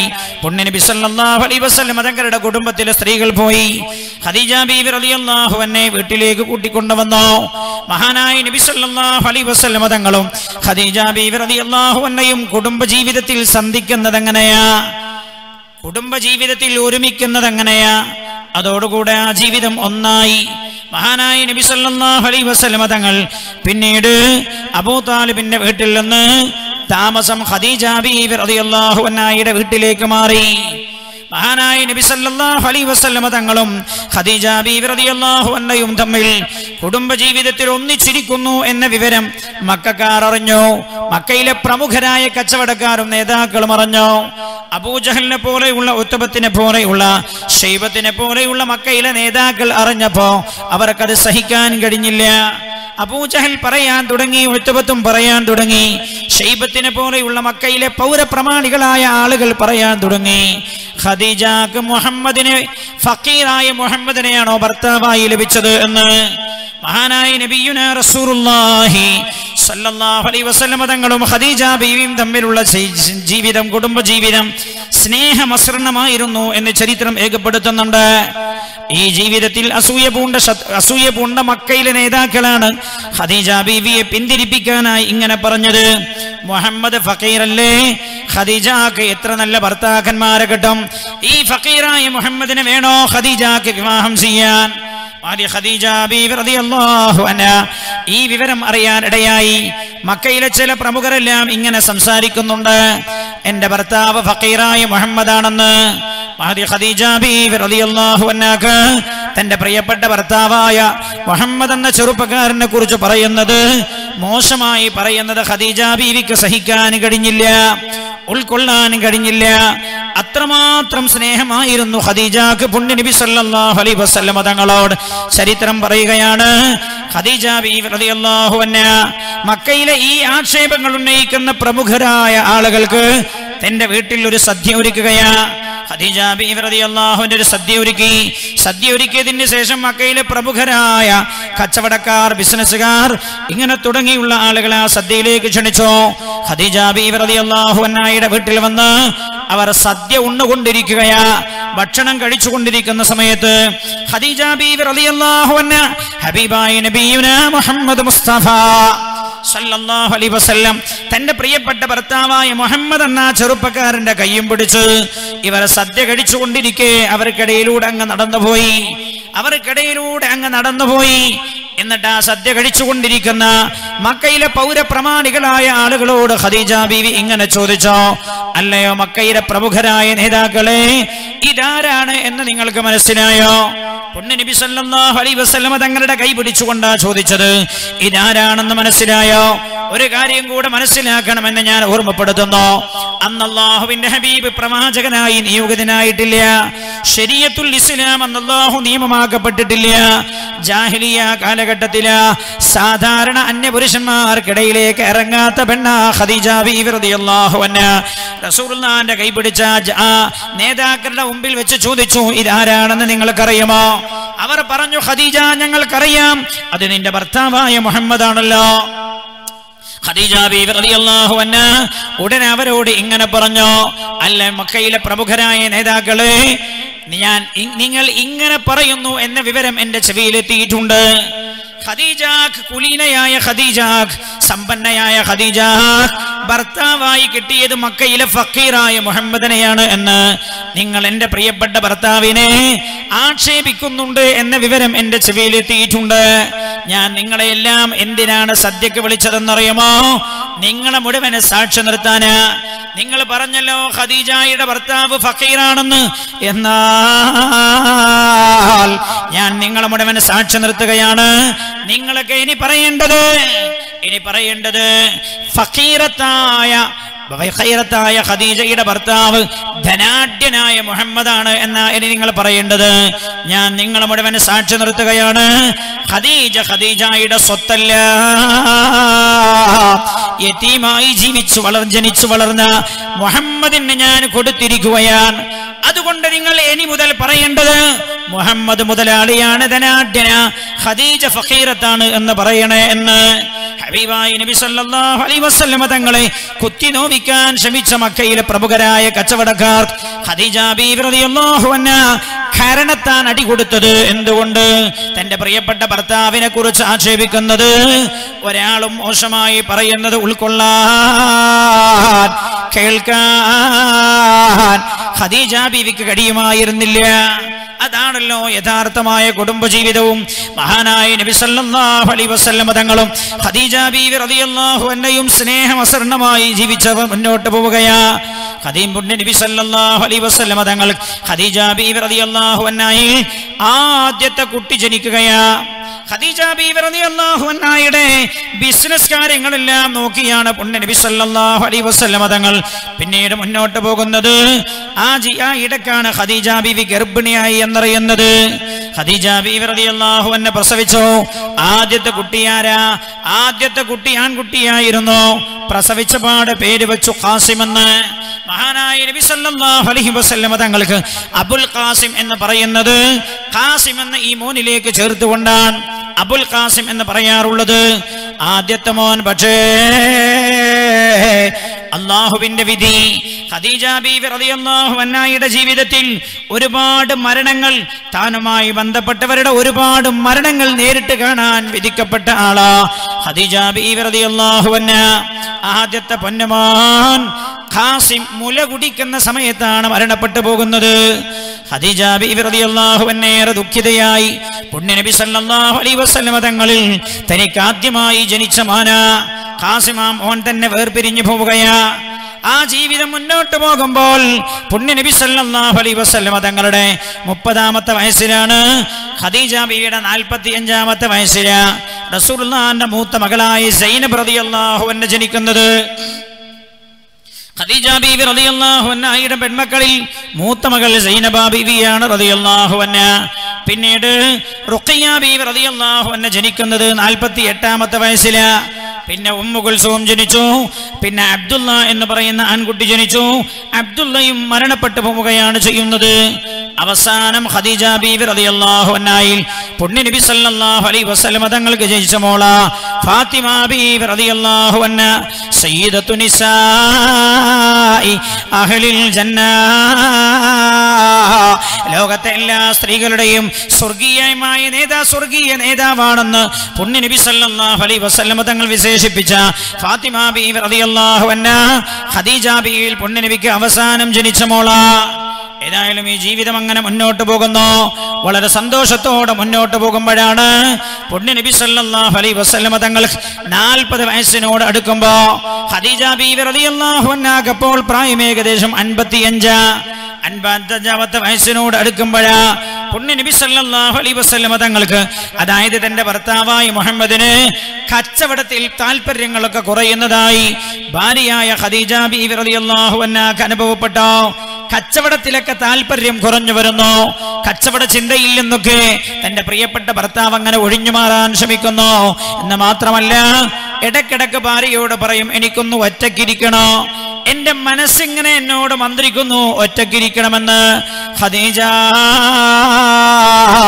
അങ്ങ് സമ്മതം തരുമോ ഖദീജ? എനിക്ക് അള്ളാഹുവിനെ ധ്യാനിക്കാൻ ഏതാനും മാസങ്ങൾ ഒറ്റക്കിരിക്കണം എന്നെന്റെ മനസ്സിലൊരു തോന്നലുണ്ട്. അങ്ങനെക്ക് സമ്മതം തരുമോ എന്ന്? ഖദീജ ബീവി റളിയല്ലാഹു അൻഹായുടെ ഇട്ടം. അള്ളാഹുവിന്റെ ഹബീബിന്റെ ഇട്ടമാണല്ലോ. റസൂലുള്ളാഹിന്റെ ഇട്ടമാണ് ഖദീജ ബീവി റളിയല്ലാഹു അൻഹായുടെ ഇട്ടം. മറിച്ചൊരിട്ടം ഖദീജ ബീവിക്കില്ല. ഖദീജ ബീവി റളിയല്ലാഹു അൻഹ പുണ്യ നബി സല്ലല്ലാഹു അലൈഹി വസല്ലമ തങ്ങൾക്ക് സമ്മതം കൊടുത്തു. അള്ളാഹുവിന്റെ ഹബീബ സമയത്ത് ഒറ്റക്കിരിക്കാൻ വേണ്ടി പോയത്. മക്കയിലെ ഉയർന്ന കുന്നായ ജബലുന്നൂറിന്റെ മുകളിലുള്ള എന്ന് പറയുന്ന ഗുഹക്കകത്തേക്കാണ് മഹാനായ നബി സല്ലല്ലാഹു അലൈഹി വസല്ലം ആ ഗുഹക്ക ആ ഗുഹക്കകത്ത് പോയി ഒറ്റക്കിരിക്കാൻ തുടങ്ങി. ആ ഗുഹ അള്ളാഹുവിന്റെ ഹബീബ് തെരഞ്ഞെടുക്കാനുള്ള കാരണം ആ ഗുഹക്കകത്തിരുന്ന് വെളിയിലേക്ക് നോക്കിയാൽ അള്ളാഹുവിന്റെ പരിശുദ്ധമായ കാബാലയം കാണാൻ കഴിയും. സല്ലല്ലാഹു അലൈഹി വസല്ലമ തങ്ങൾ കാബ കണ്ടുകൊണ്ടാണ് ആരാധന നിമഗ്നായിരുന്നത് എത്ര മാസം? ആറ് മാസക്കാലത്തോളം. മഹാനായ നബി സല്ലല്ലാഹു അലൈഹി വസല്ലമ തങ്ങൾ ധ്യാനമിരിക്കാൻ ഇറാ ഗുഹയിലേക്ക് പോയ അന്ന് മുതൽ ചരിത്രം രേഖപ്പെടുത്തുകയാണ് എന്റെ സഹോദര ഖദീജ അൻഹ. നമ്മൾ ഇവിടെ നിന്ന് പഠിക്കണേ. പുണ്യ നബി സല്ലല്ലാഹു അലൈഹി വസല്ലമ തങ്ങളെ കുറിച്ച് അല്ലാഹു പറഞ്ഞല്ലോ. ലഖദ കാന ലകും ഫീ റസൂലില്ലാഹി ഉസ്വത്തുന ഹസന. പുണ്യ നബി സല്ലല്ലാഹു അലൈഹി വസല്ലമ തങ്ങളെയാ നിങ്ങൾ എല്ലാ മേഖലയിലും മാതൃകയാക്കേണ്ടത് എന്ന് ഖുർആൻ പറഞ്ഞിട്ടുണ്ടല്ലോ. മഹാനായ നബി സല്ലല്ലാഹു അലൈഹി വസല്ലമ തങ്ങളാണ് കുടുംബ ജീവിതത്തിൽ നമുക്ക് മാതൃകയാകേണ്ടത്. ആ ഹബീബായ നബി സല്ലല്ലാഹു അലൈഹി വസല്ലമ തങ്ങളുടെ ഭാര്യമാരാണ് ഉമ്മ. പെങ്ങളെ റസൂറുല്ലാന്റെ ഭാര്യമാരാണ് നമുക്ക് കുടുംബ ജീവിതത്തിൽ നിങ്ങൾക്ക് മാതൃകയാകേണ്ടത്. ഖദീജ ബീവി റളിയല്ലാഹു അൻഹ ശ്രദ്ധിക്കണേ. ഖദീജ നബി റളിയല്ലാഹു അൻഹ. അള്ളാഹുവിന്റെ ഹബീബ് ധ്യാനമിരിക്കാൻ വേണ്ടി ആ ഗുഹയിൽ കയറി ഇരുന്ന അന്ന് മുതൽ ചരിത്രം രേഖപ്പെടുത്തുകയാണ് എല്ലാ ദിവസവും. ഖദീജ ബീവി റളിയല്ലാഹു അൻഹ തന്റെ വീട്ടിൽ നിന്ന് ഭക്ഷണം പാകം ചെയ്ത് ആറ് കിലോമീറ്ററോളം ദൂരം നടന്നു പോയി. രണ്ട് രണ്ടര മണിക്കൂർ സമയം വേണം ജബലന്നൂർ കയറി ഇറങ്ങാൻ ജബലന്നൂറിന്റെ മുകളിൽ കയറി അള്ളാഹുവിന്റെ ഹബീബിനെ തന്റെ പ്രിയപ്പെട്ട ഭർത്താവിന് ഭക്ഷണം കൊണ്ടുപോയി കൊടുത്ത് തിരിച്ചു വരുമായിരുന്നു. മഹാനായ നബിയുന റസൂറുല്ലാഹി തങ്ങളാണെങ്കിലോ തന്റെ പ്രിയപ്പെട്ട ഭാര്യ കട്ടപ്പെടുന്നത് കൊണ്ട് അള്ളാഹുവിന്റെ ഹബീബ് ചില ദിവസങ്ങളിൽ ഗുഹയിൽ നിന്ന് ഇറങ്ങിയിട്ട് വീട്ടിലേക്ക് പോകോ. എന്നിട്ട് ഖദീജയോട് പറയും ഖദീജ പ്രിയപ്പെട്ടവളെ എനിക്കാവശ്യമായ ഭക്ഷണം എന്റെ കയ്യിലേക്ക് തന്നേ. ഒരു മൂന്നോ നാലോ ദിവസത്തിന് ആവശ്യമായ ഭക്ഷണം തന്നേ. നിങ്ങൾ എന്തിനാ അത്ര പ്രയാസപ്പെട്ട മല കയറി വരുന്നത്? മഹാനായ നബി സല്ലല്ലാഹു അലൈഹി വസല്ലമ തങ്ങൾ ഭക്ഷണം പാകം ചെയ്യിപ്പിച്ചു കൊണ്ടുപോകുമായിരുന്നവത്രേ.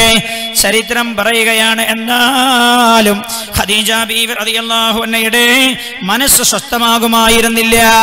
ഖദീജ ബീവി റളിയല്ലാഹു അൻഹ പുണ്യ നബി സല്ലല്ലാഹു അലൈഹി വസല്ലമ തങ്ങൾ വീട്ടിൽ നിന്ന് ഭക്ഷണം പാകം ചെയ്യിപ്പിച്ചു കൊണ്ടുപോയാലും എല്ലാ ദിവസവും റസൂലുള്ളാഹിന്റെ അടുത്തുനിന്ന് പോയി വിവരം അന്വേഷിച്ചു വരുമായിരുന്നു പത്രേ അന്ന് റസൂലായിട്ടില്ല. ഞാൻ ഇപ്പോൾ പറയുന്നു എന്ന് പരിഗണിച്ചുകൊണ്ടാണ് ഞാൻ അങ്ങനെ പറയുന്നത്. അന്ന് നബിയായില്ല. കേവലം തന്റെ ഭർത്താവ് മാത്രമാണെന്ന് മുഹമ്മദ്. മഹാനായ നബി സല്ലല്ലാഹു അലൈഹി വസല്ലമ തങ്ങളുടെ മുഹമ്മദിന്റെ സുഖവിവരം അറിയാൻ വേണ്ടി ഭർത്താവിന്റെ സുഖവിവരം അറിയാൻ വേണ്ടി എല്ലാ ദിവസവും ആ കുന്നു കയറുമായിരുന്നവത്രേ മക്കയിൽ ഹജ്ജിനോ ഉംറക്കോ ഒക്കെ പോയ ആളുകൾക്കറിയാമല്ലോ. ജബലന്നൂർ കയറിയ ആളുകൾക്കറിയാമല്ലോ. കയറാനുള്ള കട്ടപ്പാട് എന്താണെന്ന്?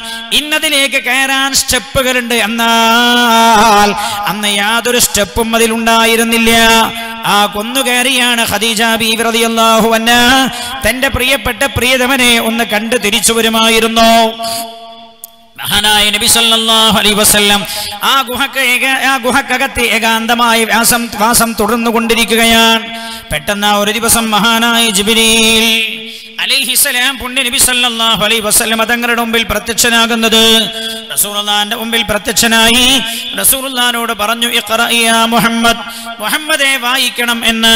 മഹാനായ നബി സല്ലല്ലാഹു അലൈഹി വസല്ലം തങ്ങൾ ഈ വന്നു പറഞ്ഞ ആഗതനായ ആൾ ആരെന്ന് റസൂലുള്ളാഹിക്ക് മനസ്സിലായില്ല? ഗുഹയിൽ താൻ ഏകാന്തനായിരിക്കുമ്പോഴാണല്ലോ മാലാഖയായ ജിബ്രീൽ അലിഹിസ്സലാം വരുന്നത്. വായിക്കൂ മുഹമ്മദേ എന്നാ പറയുന്നത്. പുണ്യ നബി സല്ലല്ലാഹു അലൈഹി വസല്ലമ തങ്ങൾ ജിബ്രീൽ അലിഹിസ്സലാമിനോട് പറഞ്ഞു എനിക്ക് വായിക്കാൻ അറിയില്ല. വീണ്ടും പറഞ്ഞു വായിക്കൂ മുഹമ്മദേ. അപ്പോഴും പറഞ്ഞു മാ അനബിഖാരിൻ എനിക്ക് വായിക്കാൻ അറിയില്ലല്ലോ. എഴുത്തും വായനയും പഠിക്കാത്ത ആളാണല്ലോ ഞാൻ. മൂന്നാമതും പറഞ്ഞു ഇക്ര യാ മുഹമ്മദ് വായിക്കണേ എന്ന്. മഹാനായ നബി സല്ലല്ലാഹു അലൈഹി വസല്ലമ തങ്ങൾ ആ സമയത്തും പറഞ്ഞു എനിക്ക് വായിക്കാൻ അറിയില്ല എന്ന്.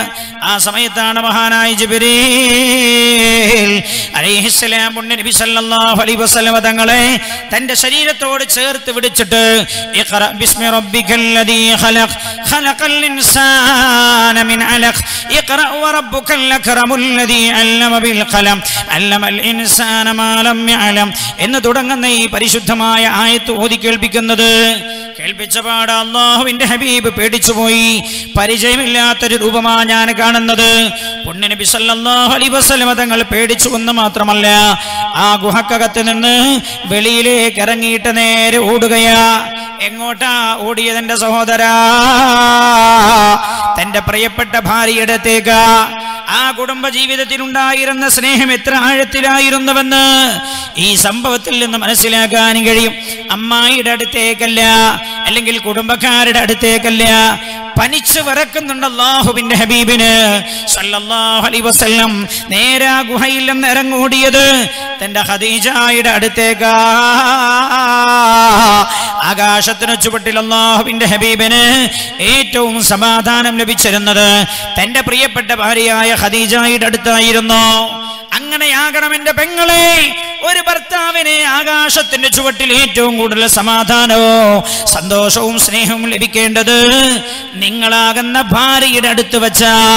അള്ളാഹുവിന്റെ ദീൻ പഠിപ്പിച്ചതും അങ്ങനെ തന്നെയല്ലേ. പരിശുദ്ധമായ ഖുർആൻ സമാധാനം എന്നല്ലേ കുടുംബ ജീവിതത്തെ കുറിച്ച് പറഞ്ഞെടുത്ത് എടുത്തു പറഞ്ഞത്. വമിൻ خلق അന من أنفسكم മിൻ لتسكنوا إليها. അള്ളാഹു നിങ്ങളെ ഇണകളും തുണകളും ഇണകളായി സൃഷ്ടിച്ചിരിക്കുന്നത്. അള്ളാഹു നിങ്ങളെ ഇണകളായി സൃഷ്ടിച്ചത് നിങ്ങൾക്ക് സമാധാനം ലഭിക്കാനെന്നല്ലേ ഖുർആൻ പറഞ്ഞത്. നിങ്ങൾ അവരിലേക്ക് സമാധാനം പ്രാപിക്കുവാനെന്ന് അള്ളാഹു നിങ്ങൾക്ക് നിങ്ങളുടെ ശരീരങ്ങളിൽ നിന്ന് പെണ്ണിനെ സൃഷ്ടിച്ചു തന്നത്. നിങ്ങൾക്ക് അവരിൽ നിന്ന് സമാധാനം ലഭിക്കാനെന്ന ഹബീബായി നബിയുന വസല്ലമ തങ്ങൾ നേരെ ഓടിച്ചെന്നത് ഖദീജ ബീവി വീട്ടിലേക്ക്. പനിച്ചു വിറക്കുന്നുണ്ട്. ഓടി വരുമ്പോഴേ പറയുന്നത് ഇങ്ങനെയാ. ജമ്മിലൂനി ഖദീജ ജമ്മിലൂനി ജമ്മിലൂനി ഖദീജ. ഖദീജ എന്നെ പുതപ്പെട്ട് മൂടണേ എന്ന്. ഞാൻ രോഗിയായി കിടക്കുകയാ. മരണ മരണ രോഗ മരണശയ്യയിലാ ഞാനുള്ളത്. എന്റെ ഭാര്യ ഇവിടേക്ക് കൊണ്ടുവരരുത്. അവരുടെ മുഖം എനിക്ക് കാണണ്ട എന്നല്ല. ാണ് സല്ലല്ലാഹു അലൈഹി വസല്ലമ തങ്ങൾ ഖദീജ ബീവിയോടാണ് പുതപ്പെട്ട് മൂടി പുതുക്കാൻ പറയുന്നത്. പൊന്നനബി വീട്ടിലേക്ക് കയറിയ പാടെ പുണ്യനബി സല്ലല്ലാഹു അലൈഹി വസല്ലമ തങ്ങളെ ഖദീജ ബീവി റളിയല്ലാഹു അൻഹ സ്വീകരിക്കുകയാണ്. പൊന്നനബി സല്ലല്ലാഹു അലൈഹി വസല്ലമ തങ്ങളെ അള്ളാഹുവിന്റെ ഹബീബിനെ റൂമിൽ കൊണ്ടുപോയി കിടത്തി. റസൂറുള്ള പറഞ്ഞ പോലെ പുതപ്പെട്ട് മൂടി പുതച്ചു കൊടുത്തു. എന്നിട്ട് അള്ളാഹുവിന്റെ ഹബീബിന്റെ തലയുടെ ഭാഗത്ത് അവിടെ ഇരുന്നു. ഇരുന്നിട്ട് പുണ്യനബി സല്ലല്ലാഹു അലൈഹി വസല്ലമ തങ്ങളോട് തന്റെ പ്രിയപ്പെട്ട ഭർത്താവിനോട് മഹാനായ നബി സല്ലല്ലാഹു അലൈഹി വസല്ലമ തങ്ങളെ മുഹമ്മദ് എന്ന തന്റെ ഭർത്താവിനെ അള്ളാഹു പ്രവാചകനായി തെരഞ്ഞെടുത്ത് വിവരം ഖദീജ ബീവി അറിഞ്ഞിട്ടില്ല. തലയുടെ ഭാഗത്തിരുന്ന് തന്റെ പ്രിയപ്പെട്ട ഭർത്താവിനെ ആശ്വസിപ്പിക്കുകയാ. ഭയപ്പെടണ്ട. ഖദീജ ബീവി റളിയല്ലാഹു എന്ന പുണ്യ നബി സല്ലല്ലാഹു അലൈഹി വസല്ലം തങ്ങളുടെ ശരീരം ഇങ്ങനെ വിറക്കുന്നുണ്ട്. പേടിച്ചരണ്ട് പോയിട്ടുണ്ട്. ആ സമയത്ത് ഖദീജ ബീവി റളിയല്ലാഹു അൻഹ സമാധാനിപ്പിക്കുകയാ. അങ്ങ് ഭയപ്പെടണ്ട. പ്രിയപ്പെട്ട ഭർത്താവേ അങ്ങേ അള്ളാഹു കൈയൊടിയില്ല. അങ്ങേ അള്ളാഹു കയ്യൊഴിയില്ല അങ്ങ് പാവങ്ങളെ സംരക്ഷിക്കുന്ന ആളല്ലേ? യത്തീമുകളെ പോറ്റുന്ന ആളല്ലേ? അങ്ങ് പാവങ്ങളുടെ കൂടെ നിൽക്കുന്ന ആളല്ലേ? അങ്ങേ പ്രപഞ്ചനാഥനായ അള്ളാഹു കൈയൊടിയില്ല ഖദീജ ബീവി സമാധാനിപ്പിക്കുകയാണ് പുണ്യ നബി സല്ലല്ലാഹു അലൈഹി വസല്ലമ തങ്ങളെ. മഹാനായ നബി സല്ലല്ലാഹു അലൈഹി വസല്ലമ തങ്ങൾ. അപ്പോഴാണ് ഉണ്ടായ അനുഭവമെല്ലാം ഖദീജ ബീവിയോട് പറയുന്നത്. ഉടനെ തന്നെ ഖദീജ ബീവി റളിയല്ലാഹു അൻഹ പറഞ്ഞു ഹബീബേ പ്രിയപ്പെട്ടവരെ അങ്ങ് ഭയപ്പെടണ്ട. വറക്കത്തിന്റെ അടുക്കിലേക്ക് നമുക്ക് പോകാമെന്ന്. ആരാണ് വറക്കത്ത്? അന്ന് മക്കയിൽ ജീവിച്ചിരുന്ന തൗറാത്തിലും ഇഞ്ചിയിലും അവഗാഹമുള്ള പണ്ഡിതനായിരുന്നു വറക്കത്ത്. വറക്കത്തിന്റെ അടുക്കലേക്ക് പോകാമെന്ന്. അങ്ങനെ അതാ പുണ്യ നബി സല്ലല്ലാഹു അലൈഹി വസല്ലം തങ്ങളുടെ കൈയും പിടിച്ച് പ്രിയപ്പെട്ട ഭർത്താവിന്റെ കൈപിടിച്ച് വറക്കത്തിന്റെ അടുക്കലേക്ക് പോവുകയാ. വറക്കത്തിന്റെ മുമ്പിൽ ചെന്നോ. ഉണ്ടായ സംഭവങ്ങളെല്ലാം അൻഹ വിശദീകരിച്ചു. ആ സമയത്ത് വറക്കത്ത് പുണ്യ നബി സല്ലല്ലാഹു അലൈഹി വസല്ലമ തങ്ങളോട് കാര്യങ്ങൾ തിരക്കി. പുണ്യ നബി സല്ലല്ലാഹു അലൈഹി വസല്ലമ തങ്ങൾ കാര്യങ്ങളെല്ലാം പറഞ്ഞു. കേട്ടപാട വറക്കത്ത് പറഞ്ഞു അങ്ങീ പറഞ്ഞതിൽ നിന്ന് ഞാൻ മനസ്സിലാക്കുന്നത് ഇത് മൂസാ നബി അലൈഹിസ്സലാമിന്റെ അടുത്ത് ദൈവ സന്ദേശവുമായി വന്ന മലക്കു തന്നെയാണ്. അങ്ങയുടെ അടുത്തും വന്നത്. അങ്ങേ അള്ളാഹു തആല തന്റെ പ്രബോധക തന്റെ ദിവ്യ പ്രബോധകനായി അള്ളാഹു തെരഞ്ഞെടുത്തിരിക്കുകയാണ്. അങ്ങേ അള്ളാഹു പ്രവാചകനായി തെരഞ്ഞെടുത്തിരിക്കുകയാ. അങ്ങേ സമുദായത്തിലേക്കുള്ള അവസാന പ്രവാചകനാണെന്ന് നൗഫൽ പറഞ്ഞു വന്ന് മാത്രമല്ല ഖദീജ ബീവി റളിയല്ലാഹു അൻഹ കേൾക്കുകയാണ് പറയുന്നത്. വറഖത്ത് പറഞ്ഞു? അങ്ങീ സന്ദേശവുമായി അങ്ങീ സന്ദേശവുമായി അങ്ങയുടെ ജനതയെ സമീപിക്കുമ്പോൾ അവർ അങ്ങയെ കളവാക്കും. കളവാക്കുമെന്ന് മാത്രമല്ല ഈ നാട്ടിൽ നിന്ന് അങ്ങയെ അവർ പുറത്താക്കാൻ ശ്രമിക്കുകയും ചെയ്യും. അങ്ങനെ അവസാനം അങ്ങ് ഈ നാട്ട് വിട്ട് പോകേണ്ടി വരും. ഈ നാട്ടിൽ നിന്ന് അങ്ങയെ പുറത്താക്കുന്ന സമയത്ത് ഞാൻ ജീവിച്ചിരിക്കുന്നുവെങ്കിൽ അങ്ങയെ ഞാൻ സഹായിക്കുമെന്ന് വസല്ലമ തങ്ങളോട് പറഞ്ഞു. അപ്പോഴാണ് ഖദീജ നേരത്തെ താൻ കണ്ട ഒരു സ്വപ്നം ബോധ്യമായത്. ഖദീജ രണ്ട് ഭർത്താക്കന്മാർ മരിച്ച സമയമാണ് ഖദീജ ബീവി അൻഹ ഒരു സ്വപ്നം കാണുന്നത്. എന്താണ് ആ സ്വപ്നം? തന്റെ വീട്ടിന്റെ അകത്ത് പൂർണമായ രീതിയിൽ കത്തിജ്വലിക്കുന്ന രീതിയിൽ ഒരു സൂര്യൻ ഉദിച്ചു നിൽക്കുന്ന രംഗമാ ഖദീജ പ്രതി അൻഹ കാണുന്നത്. തന്റെ വീട്ടിന്റെ അകത്ത് കത്തിജ്വലിക്ക് നിൽക്കുന്ന ഈ സൂര്യനെ കണ്ട ഖദീജ ബീവി റളിയല്ലാഹു അൻഹ പിറ്റേ ദിവസം ഉടർന്നപ്പോ ഖദീജ ബീവിക്ക് മനസ്സിലായി ഇതിലെന്തോ ഒരു രഹസ്യമുണ്ട് എന്ന്. ഖദീജ ബീവി റളിയല്ലാഹു അൻഹ നേരെ അന്ന് പോയത് വറക്കത്തിന്റെ അടുക്കലേക്ക്. വറക്കത്ത് സ്വപ്ന വ്യാഖ്യാനത്തിൽ കഴിവുള്ള ആളായിരുന്നു. വറക്കത്തിനോട് ചെന്നിട്ട് താൻ കണ്ട സ്വപ്നം പറഞ്ഞു? വറക്കത്ത് അന്ന് പറഞ്ഞിട്ടുണ്ടായിരുന്നു ഖദീജ ബീവിയോട് എന്റെ ഞാൻ പഠിച്ചതനുസരിച്ച് വേദഗ്രന്ഥങ്ങളിൽ നിന്ന് ഞാൻ മനസ്സിലാക്കിയതനുസരിച്ച് അവസാന പ്രവാചകൻ വരാനുള്ള കാലം അടുത്തിട്ടുണ്ട്. ആ പ്രവാചകൻ വരുന്നത് മക്കയിലായിരിക്കും. അങ്ങനെ ഒരു പ്രവാചകൻ മക്കയിൽ വന്നാൽ നിങ്ങൾ ആ പ്രവാചകനെ വിവാഹം കഴിക്കുമെന്ന ഇതിന്റെ വ്യാഖ്യാനമെന്നാണ് എനിക്ക് തോന്നുന്നത് എന്ന വറക്കത്തെന്ന് പറഞ്ഞിട്ടുണ്ടായിരുന്നു. മഹാനായ നബിയുന മുഹമ്മദ് മുസ്തഫ. തങ്ങൾ മഹാനായ നബി തന്റെ പ്രിയപ്പെട്ട ഭർത്താവിനെ അള്ളാഹു അവസാന പ്രവാചകനായി തെരഞ്ഞെടുത്തിരിക്കുന്നുവെന്ന് ഖദീജ ബീവി റളിയല്ലാഹു അൻഹയുടെ മുമ്പിൽ വെച്ച് വറക്കത്ത് പറഞ്ഞപ്പോൾ ഖദീജ ബീവി റളിയല്ലാഹു അൻഹയുടെ മനസ്സിലൂടെ ഓടിപ്പോയത് ആ സ്വപ്നവ്യാഖ്യാനത്തിന്റെ രംഗമായിരുന്നു. ഏതായാലും ഖദീജ ബീവി റളിയല്ലാഹു അൻഹ അവിടെ വെച്ചു തന്നെ കേട്ടിട്ടുണ്ട്. ഈ പരിശുദ്ധമായ ദീനിന്റെ പ്രബോധനത്തിന്റെ മേഖലയിൽ പൊന്നു നബി സല്ലല്ലാഹു അലൈഹി വസല്ലം തന്റെ പ്രിയപ്പെട്ട ഭർത്താവ് വളരെ പ്രയാസകരമായ ത്യാഗങ്ങൾ നേരിടേണ്ടി വരുമെന്ന്. ആ ത്യാഗത്തിന്റെ പര്യവസാനം സ്വന്തം നാട്ടിൽ നിന്ന് പുറത്താക്കപ്പെടുന്ന സാഹചര്യമാണ് ഉണ്ടാവുക എന്ന് ഇന്ന് വറക്കത്ത് പറഞ്ഞു കൊടുത്തത് ഖദീജ കേട്ടിട്ടുണ്ട്. ഖദീജ അതോടുകൂടെ തന്നെ തന്റെ മനസ്സിനെ പാകപ്പെടുത്തുകയാണ്. പുണ്യനബി സല്ലല്ലാഹു അലൈഹി വസല്ലമ തങ്ങൾക്ക് നേരെ വരുന്ന എല്ലാ പീഡനങ്ങളും നേരിടാൻ ഖദീജ റളിയല്ലാഹു അൻഹ തന്റെ മനസ്സിനെ പാകപ്പെടുത്തുകയാണ്. നമ്മൾ ആലോചിക്കണോ? ഖദീജ റളിയല്ലാഹു അൻഹയുടെ ജീവിതത്തിൽ രണ്ട് സാഹചര്യങ്ങളുണ്ട് എന്റെ സഹോദരങ്ങളെ. ഒന്ന് സുഭിക്ഷമായ ജീവിതമാണ് രണ്ടാമത്തെ ജീവിതമോ പ്രശ്നകലുഷിതമായ ജീവിതമാ. ഈ രണ്ട് ഘട്ടത്തിലും തന്റെ ഭർത്താവിന്റെ കൂടെ ഒന്നിച്ചു നിന്ന ആളാ. ഖദീജ ബീവി റളിയല്ലാഹു അൻഹ. നമ്മൾ ഇതുവരെ പറഞ്ഞത് സുഭിക്ഷമായ ജീവിതത്തിന്റെ സാഹചര്യങ്ങളായിരുന്നുവെങ്കിൽ ഇനി പറയാൻ പോകുന്നത് തീക്ഷണമായ പരീക്ഷണങ്ങളുടെ സാഹചര്യമാ.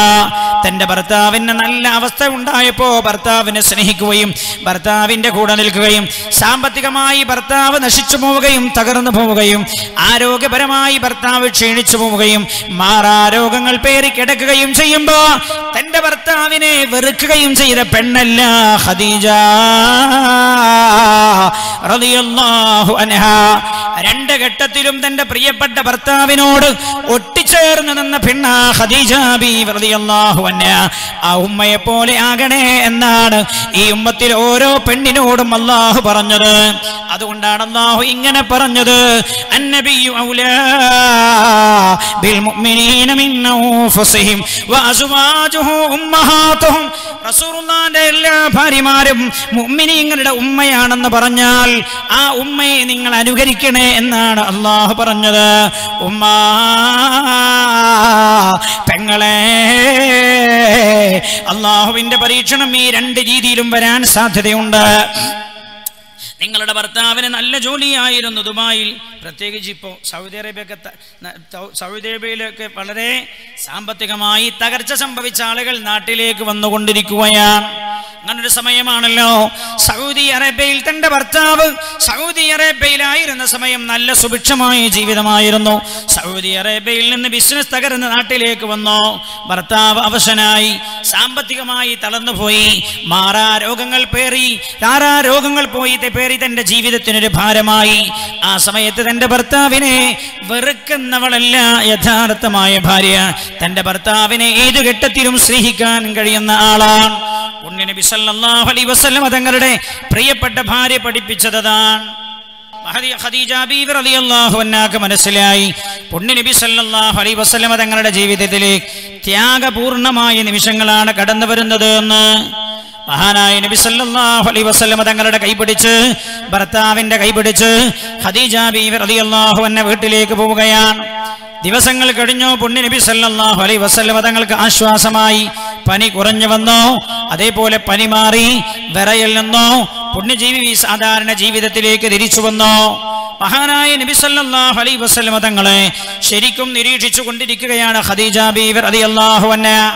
മൂന്ന് വർഷം അള്ളാഹുവിന്റെ ഹബീബ് പിന്നെ വീട്ടിൽ തന്നെയാണ് കഴിഞ്ഞുകൂടിയത്. മഹാനായ നബി സല്ലല്ലാഹു അലൈഹി വസല്ലം തങ്ങൾക്ക് വെളിയിൽ ഇറങ്ങുന്നത് പോലും പേടിയായി തോന്നിയിട്ടുണ്ടായിരുന്നു.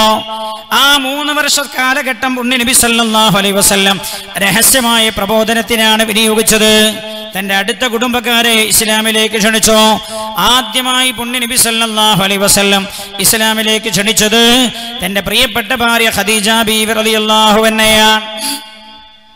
ഇറാ ഗുഹയിൽ വെച്ചുണ്ടായ അനുഭവങ്ങളെല്ലാം ഖദീജ ബീവി റളിയല്ലാഹു അൻഹയോട് പറഞ്ഞ് പുണ്യ നബി സല്ലല്ലാഹു അലൈഹി വസല്ലം ഖദീജ ബീവി വിശുദ്ധ ഇസ്ലാമിലേക്ക് ക്ഷണിച്ചോ. പുണ്യ നബി സല്ലല്ലാഹു അലൈഹി വസല്ലം തങ്ങളിൽ തന്റെ ഭർത്താവിൽ ഒരു സംശയവും പ്രകടിപ്പിക്കാതെ ഖദീജ ബീവി റളിയല്ലാഹു അൻഹ വിശ്വസിക്കുകയായിരുന്നു. അങ്ങനെ ആദ്യത്തെ വിശ്വാസി എന്ന പേര് എന്ന മഹത്വം ഖദീജ ബീവി റളിയല്ലാഹു അൻഹ ലഭിച്ചു എന്നാൽ ആദ്യത്തെ മൂന്ന് വർഷം രഹസ്യ പ്രബോധനത്തിന്റെ സമയമായിരുന്നുവെങ്കിൽ പിന്നെ അള്ളാഹുവിന്റെ കൽപ്പന വന്നു പരസ്യമായി പ്രബോധനം ആരംഭിക്കാൻ يا أيها المدثر قم فأنذر وربك فكبر وثيابك فطهر والرجس فاهجر ولا تمنن تستك- تستكثر ولربك فاصبر فإذا نقر في الناقار അള്ളാഹുവിന്റെ ഹബീബിനോട് അള്ളാഹു പറഞ്ഞു നബിയേ രഹസ്യമായി പ്രബോധനം നടത്തിയാൽ പോരാ പരസ്യമായി പ്രബോധനം നടത്തണം യാ റസൂലല്ലാ എന്ന് അള്ളാഹുവിന്റെ കൽപ്പന പ്രകാരം മഹാനായ നബിയുന വസല്ലമ തങ്ങൾ മക്കക്കാരെ മുഴുവൻ പരിശുദ്ധ ഇസ്ലാമിന്റെ സത്യമറിയിക്കാൻ വേണ്ടി പുണ്യനബി സല്ലല്ലാഹു അലൈഹി വസല്ലമ തങ്ങൾ ജബൽ അബി ഉബൈസിന്റെ മുകളിൽ കയറി നിൽക്കുകയാ. എന്നിട്ട് മക്കക്കാരെ മുഴുവൻ തന്റെ സന്നിധിയിലേക്ക് വിളിക്കുകയാ. അതായിരുന്നു മക്കത്തുണ്ടായിരുന്ന ശൈലി. മക്കൾക്ക് വല്ല അപകടവും വരാൻ പോകുന്നുവെങ്കിൽ സാധാരണ ചെയ്യാറുള്ളത് മക്കാരെ എല്ലാവരെയും എന്തെങ്കിലും വിവരമറിയിക്കാറുണ്ടെങ്കിൽ സാധാരണ ചെയ്യാറുള്ളത് ജബൽ അബി ഉബൈസിന്റെ മുകളിൽ കയറിയിട്ട് ആളുകളെ വിളിക്കാറായിരുന്നു പതിവ്. അതേപോലെ നബി സല്ലല്ലാഹു അലൈഹി വസല്ലം അതാ ജബൽ മുകളിൽ കയറിയിട്ട് മക്കാരെ മുഴുവൻ തന്റെ സന്നിധിയിലേക്ക് വിളിക്കുകയാ. കേട്ടവർ കേട്ടവർ ഓടി വരാൻ തുടങ്ങി. എല്ലാവരും ശ്രദ്ധിച്ചു ആരാ വിളിക്കുന്നത്? അൽ അമീന വിളിക്കുന്നത്. എന്തോ കാര്യമില്ലാതെ അൽ അമീൻ വിളിക്കില്ല. ഫേക്ക് പറയാനൊന്നും അല്ലമീൻ വിളിക്കൂല. അത് അല്ലമീന്റെ ആൾക്കാർ ചെയ്യാനും പാടില്ല. ഫേക്കായ വാർത്ത കണ്ടത് മുഴുവൻ അതങ്ങനെ പാസ് ചെയ്യുക അതൊക്കെ മറ്റു ഗ്രൂപ്പുകളിലേക്ക് ഷെയർ ചെയ്യുക അത് അൽ അമീന്റെ അനുയായികൾക്ക് യോജിച്ചതല്ല. ഫേക്ക് പറയുന്നു. എല്ലാവരും ശ്രദ്ധിച്ചു ആരാ വിളിക്കുന്നത്? അൽ അമീനാണ് കേട്ടവർ കേട്ടവർ ഓടി. കാരണം ഈ നബി എന്തെങ്കിലും കാര്യമില്ലാതെ പറയില്ല. എന്തെങ്കിലും കാര്യമില്ലാതെ വിളിക്കില്ല. എല്ലാവരും പുണ്യ നബി സല്ലല്ലാഹു അലൈഹി വസല്ലമ തങ്ങളുടെ ചുറ്റും കൂടി. അപ്പോഴാണ് അള്ളാഹുവിന്റെ ഹബീബ് അവരോട് ചോദിച്ചത് ഈ മലക്കപ്പുറത്ത് നിന്ന് സർവായുധ വിഭൂഷിതനായ ഒരു സൈന്യം നിങ്ങൾ ആക്രമിക്കാൻ വരുന്നു എന്ന് പറഞ്ഞാൽ നിങ്ങൾ അംഗീകരിക്കുമോ എന്ന്? എല്ലാവരും പറഞ്ഞു മുഹമ്മദേ ഞങ്ങൾ അംഗീകരിക്കും. ഈ കാലം അത്രയും നീ ഞങ്ങളോടൊരു കളവ് പറഞ്ഞ ചരിത്രമില്ലല്ലോ എന്ന്. അപ്പോഴാ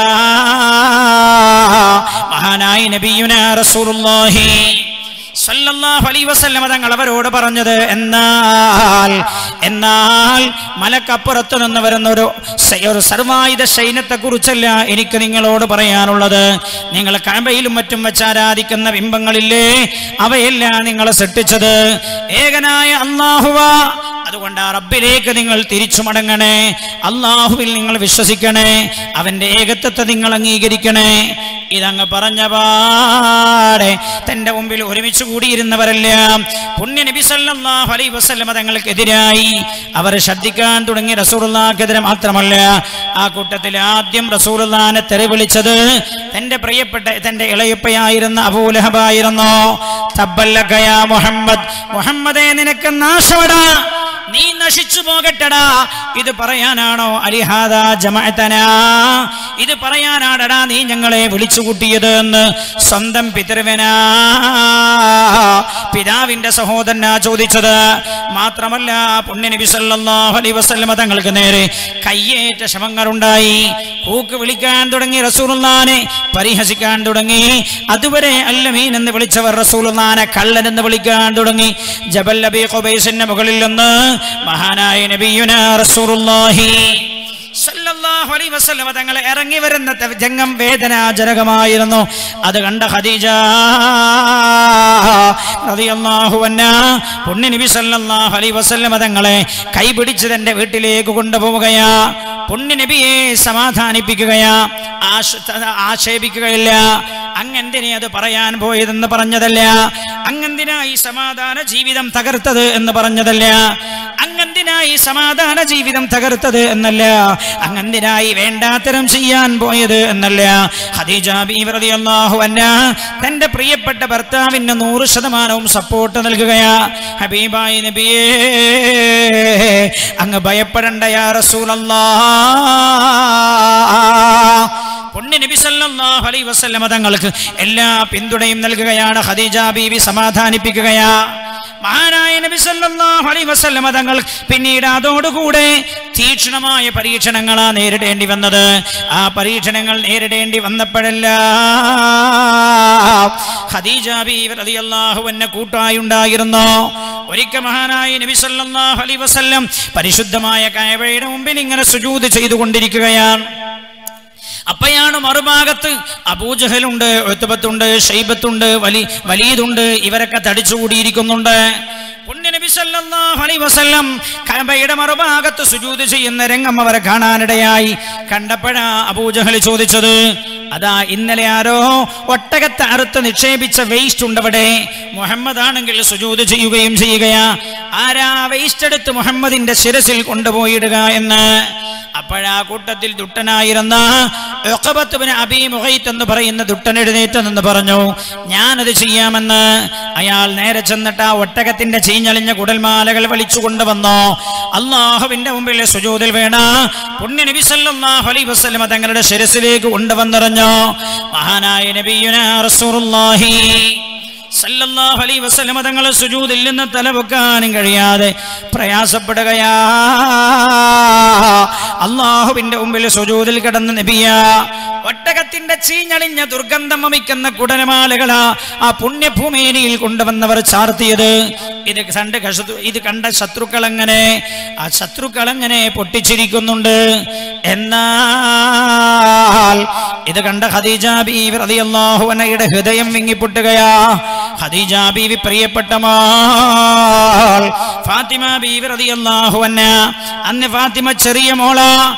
ഫാത്തിമ ബീവിയെ വിളിച്ചിട്ട് പറഞ്ഞു മോളെ ഉപ്പയുടെ കഴുത്തിലതാ ഉട്ടകത്തിന്റെ ചീഞ്ഞളിഞ്ഞ കുടൽമാലകൾ ശത്രുക്കൾ കൊണ്ടുവന്നിട്ട് അവർ ആർത്തു ചിരിക്കുന്ന മോളെ ഉപ്പയെ കളിയാക്കിയിട്ട് മോളെ ഒന്ന് ചെല്ലുമോളെ ഉപ്പയുടെ ശിരസിൽ നിന്ന് ഒട്ടകത്തിന്റെ ചീഞ്ഞളിഞ്ഞ കുടൽമാലകൾ എടുത്തു മാറ്റി കൊടുക്കുമോളെ എന്ന്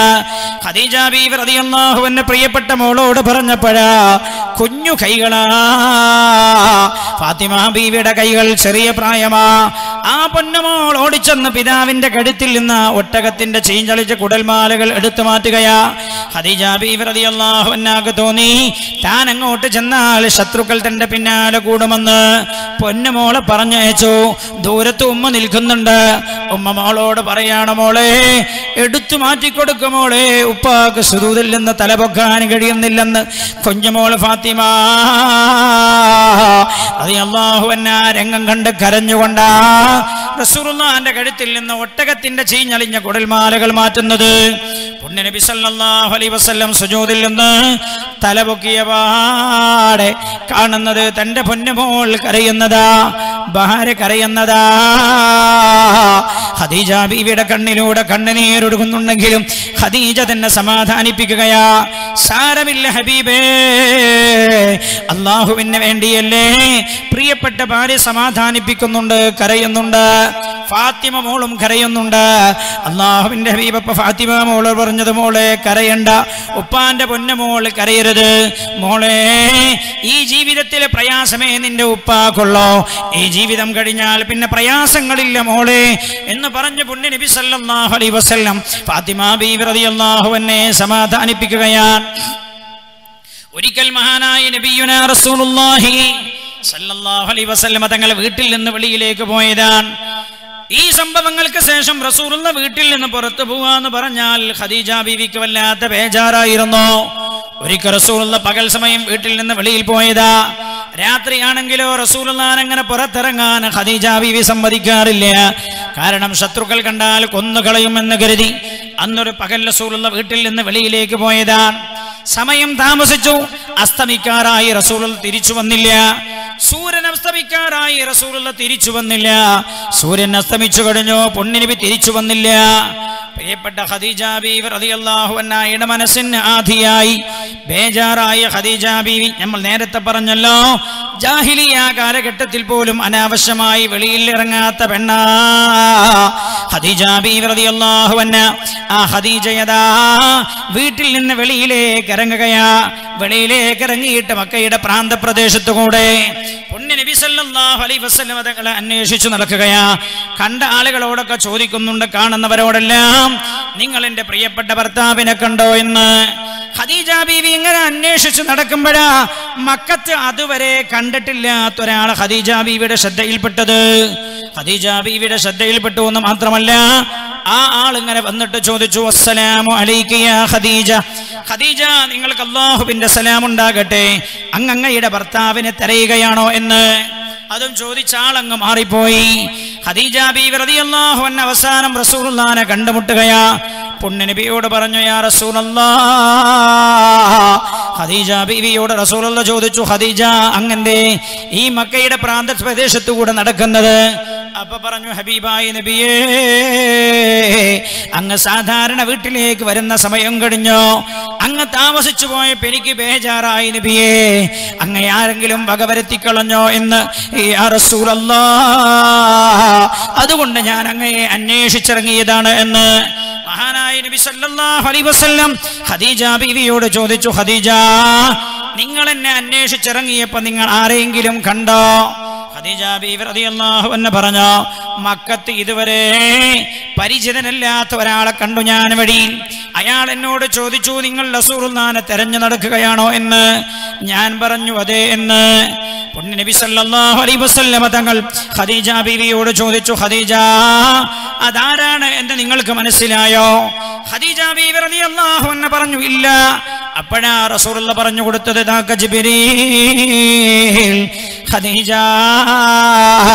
അത് ജിബിരിയിലാണ് അലൈഹിസ്സലാം.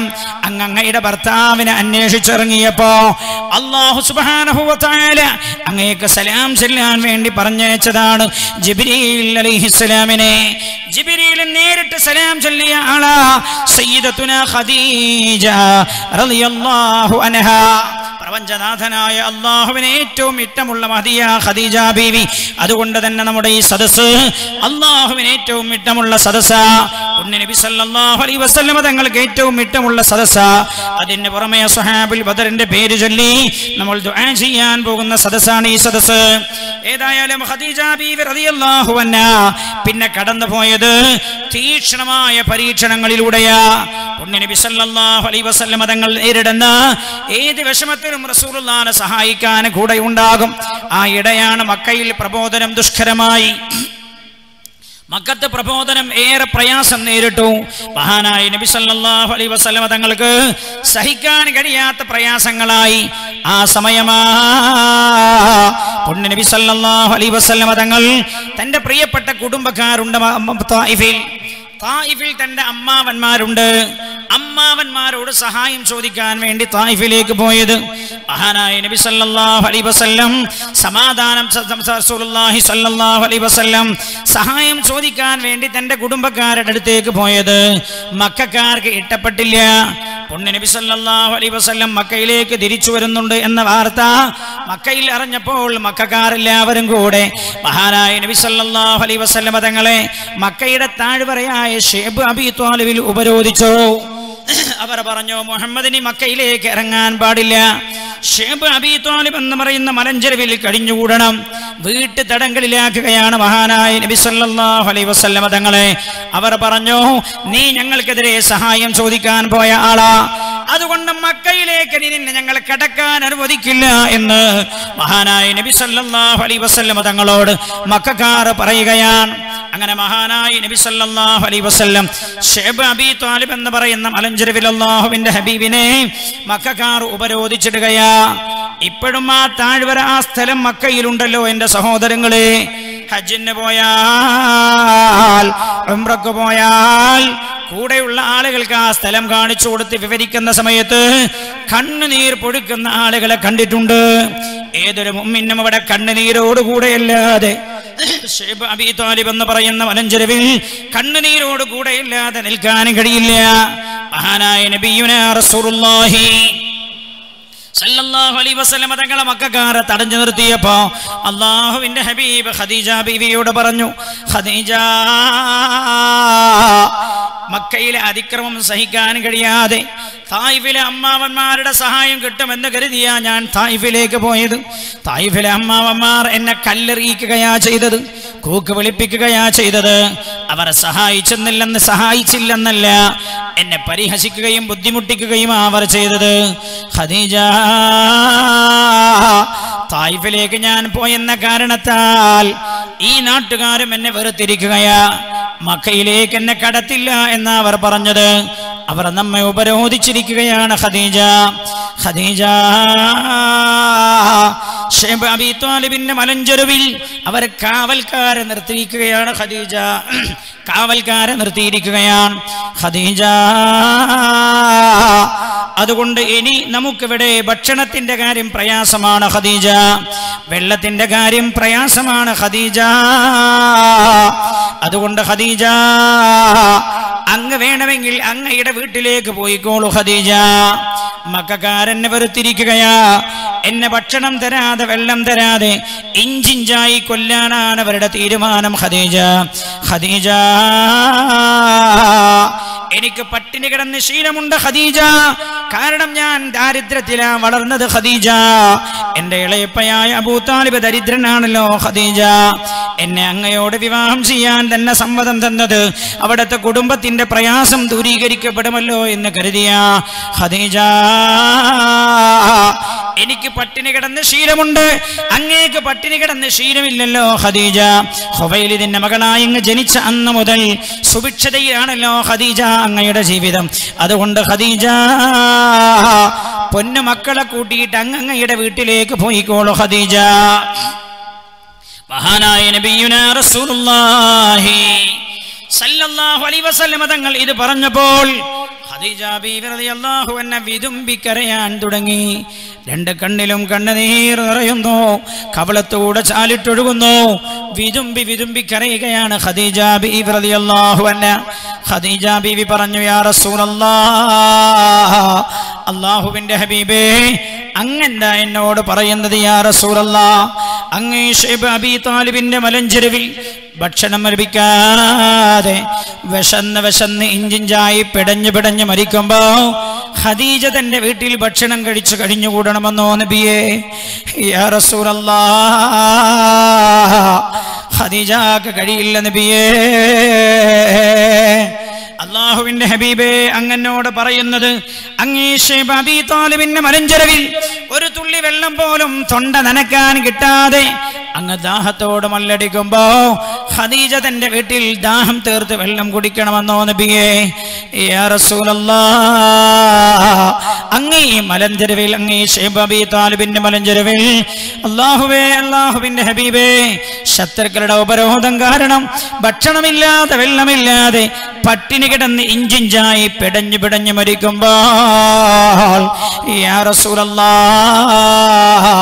ഹദീസ് സുഭിക്ഷമായി തന്റെ ജീവിതന്റെ വീട്ടിൽ കഴിഞ്ഞുകൂടണമെന്നോ നബിയേ? കഴിയില്ല യാ റസൂലല്ലാ ഖദീജാക്ക് കഴിയില്ല നബിയേ.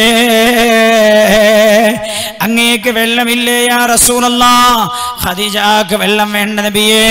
അങ്ങേക്ക് ഭക്ഷണമില്ലേ ഖദീജാക്ക് ഭക്ഷണം വേണ്ട യാ റസൂലല്ലാ യാ അങ്ങ് ഭക്ഷണവും വെള്ളവും ഇല്ലാതെ ഈ മലഞ്ചെരുവിൽ പിടഞ്ഞു പിടഞ്ഞു മരിക്കുകയാണ് നബിയെ. അങ്ങയുടെ കൂടെ ഒട്ടിച്ചേർന്ന് കിടന്ന് പിടഞ്ഞു പിടഞ്ഞു മരിക്കാനാണ് ഖദീജയുടെയും മക്കളുടെയും ആഗ്രഹം യാ റസൂലല്ല. അതുകൊണ്ട് എന്നെ പുറത്താക്കരുത് നബിയേ. എന്റെ വീട്ടിലേക്ക് എന്നെ പറഞ്ഞേക്കരുത് യാ റസൂലല്ല. എന്ന് ഖദീജ ബി റളിയല്ലാഹു അൻഹ നബി സല്ലല്ലാഹു അലൈഹി വസല്ലമ തങ്ങളോട് പറയുകയാണ്. ചരിത്രം രേഖപ്പെടുത്തുന്നു. പുണ്യ നബി സല്ലല്ലാഹു അലൈഹി വസല്ലമ തങ്ങളുടെ കൂടെ ആ മലഞ്ചെരുവില ഖദീജ ബീവി കഴിഞ്ഞുകൂടിയത് എത്രത്തോളം എന്നറിയാമോ? ആ ഖദീജ ബീവി കഴിഞ്ഞുകൂടി എന്നല്ല ചരിത്രം രേഖപ്പെടുത്തുകയാ. ധനാഢ്യയായ ഖദീജ ബീവി റളിയല്ലാഹു അൻഹ. പെങ്ങളെ ചിന്തിക്കണേ കോടീശ്വരയായിരുന്ന ഖദീജ ബീവിയുടെ ജീവിതത്തിലെ അവസാന ഘട്ടം ഇങ്ങനെയായിരുന്നു. പച്ച ദാരിദ്ര്യമായിരുന്നു ഖദീജ ബീവിയുടെ ജീവിതത്തിൽ. അള്ളാഹുവിന്റെ ഹബീബിന്റെ കൂടെ ആ താഴ്വരയിൽ കഴിഞ്ഞ സമയം അവർ ഭക്ഷിച്ചിരുന്നത് ഭക്ഷണമില്ല. മക്കയിൽ നിന്നൊരാൾക്കും അവർക്ക് ഭക്ഷണം കൊണ്ടുപോയി കൊടുക്കാൻ കഴിയില്ല. എന്നാൽ അവർക്ക് ഭക്ഷണത്തിന് വേണ്ടി മക്കയിലേക്ക് ഇറങ്ങാനും കഴിയില്ല. ഈ താഴ്വാരത്തിന്റെ ഭാഗങ്ങളിലും ശത്രുക്കളെ ഏൽപ്പിച്ച് ശത്രുക്കളെ ചുമതലപ്പെടുത്തി ശത്രുക്കൾ ശത്രുക്കൾ ആളുകളെ ചുമതലപ്പെടുത്തിയിരിക്കുകയാണ്. അതുകൊണ്ട് അവർക്ക് മക്കയിലേക്ക് ഇറങ്ങാനോ മക്കത്തുള്ള ആർക്കെങ്കിലും അവർക്ക് ഭക്ഷണം കൊണ്ടുപോയി കൊടുക്കാനോ കഴിയില്ല. ആ അവസ്ഥയിലാ. ഷേബ് മലഞ്ചെരുവിൽ ഉണ്ടായിരുന്ന പുല്ലും ചെടികളുമാണ് അത്രേ അവർ തിന്നത്. ഖദീജ ബീവി അടക്കം അല്ലാഹുവിന്റെ ഹബീബ് നബിയുന റസൂലുള്ളാഹി. സല്ലല്ലാഹു അലൈഹി വസല്ലമ തങ്ങൾ വിസർജിച്ചപ്പോൾ ആട്ടിന്റെ മലം പോലെയായിരുന്നു അവരുടെ വിസർജ്യമെന്ന് ചരിത്രം രേഖപ്പെടുത്തുന്നതുകൊണ്ട് പുല്ലും അതേപോലെ വൃക്ഷങ്ങളുടെ ചെടികളുടെ ഇലകളും തന്നതുകൊണ്ട് അവരുടെ മലം ആട്ടിന്റെ മലം പോലെയായിരുന്നുവെന്ന്. പെങ്ങളെ നമ്മുടെ ഉമ്മാക്ക് വന്നൊരനുഭവം ചരിത്രം രേഖപ്പെടുത്തുകയാണ് സുഭിക്ഷതയിൽ ഭർത്താവിന്റെ കൂടെ നിൽക്കുകയും ഭർത്താവിന്റെ സുഭിക്ഷത പോയാൽ കറിയിലെ കറിവേപ്പിലയെ പോലെ ഭർത്താവിനെ വേണ്ടെന്ന് വെക്കുകയും ചെയ്യലല്ല. ഒരു സാത്വികയായ പെണ്ണിന്റെ മാതൃകയെന്ന് ഹദീജ ബീവിയിലൂടെ അള്ളാഹു നമ്മെ പഠിപ്പിക്കുകയാണ് എന്റെ പെങ്ങളെ. രണ്ടും അള്ളാഹുവിന്റെ ഭാഗത്ത് നിന്ന്.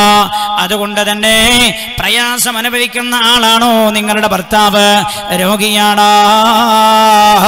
കിടപ്പിലാണോ? കിടന്ന കിടപ്പിൽ തന്നെ മലവും മൂത്രവും ഒഴിഞ്ഞു പോകുന്ന രോഗിയാണോ? നല്ല പോലെ ശുശ്രൂഷിച്ചോളോ. അള്ളാഹുവിന്റെ സ്വർഗം നിങ്ങളെ കാത്തിരിക്കുന്നുണ്ട്. അൻഹ ഈ പ്രയാസത്തിൽ അള്ളാഹുവിന്റെ ഹബീബിന്റെ കൂടെ നിന്നോ?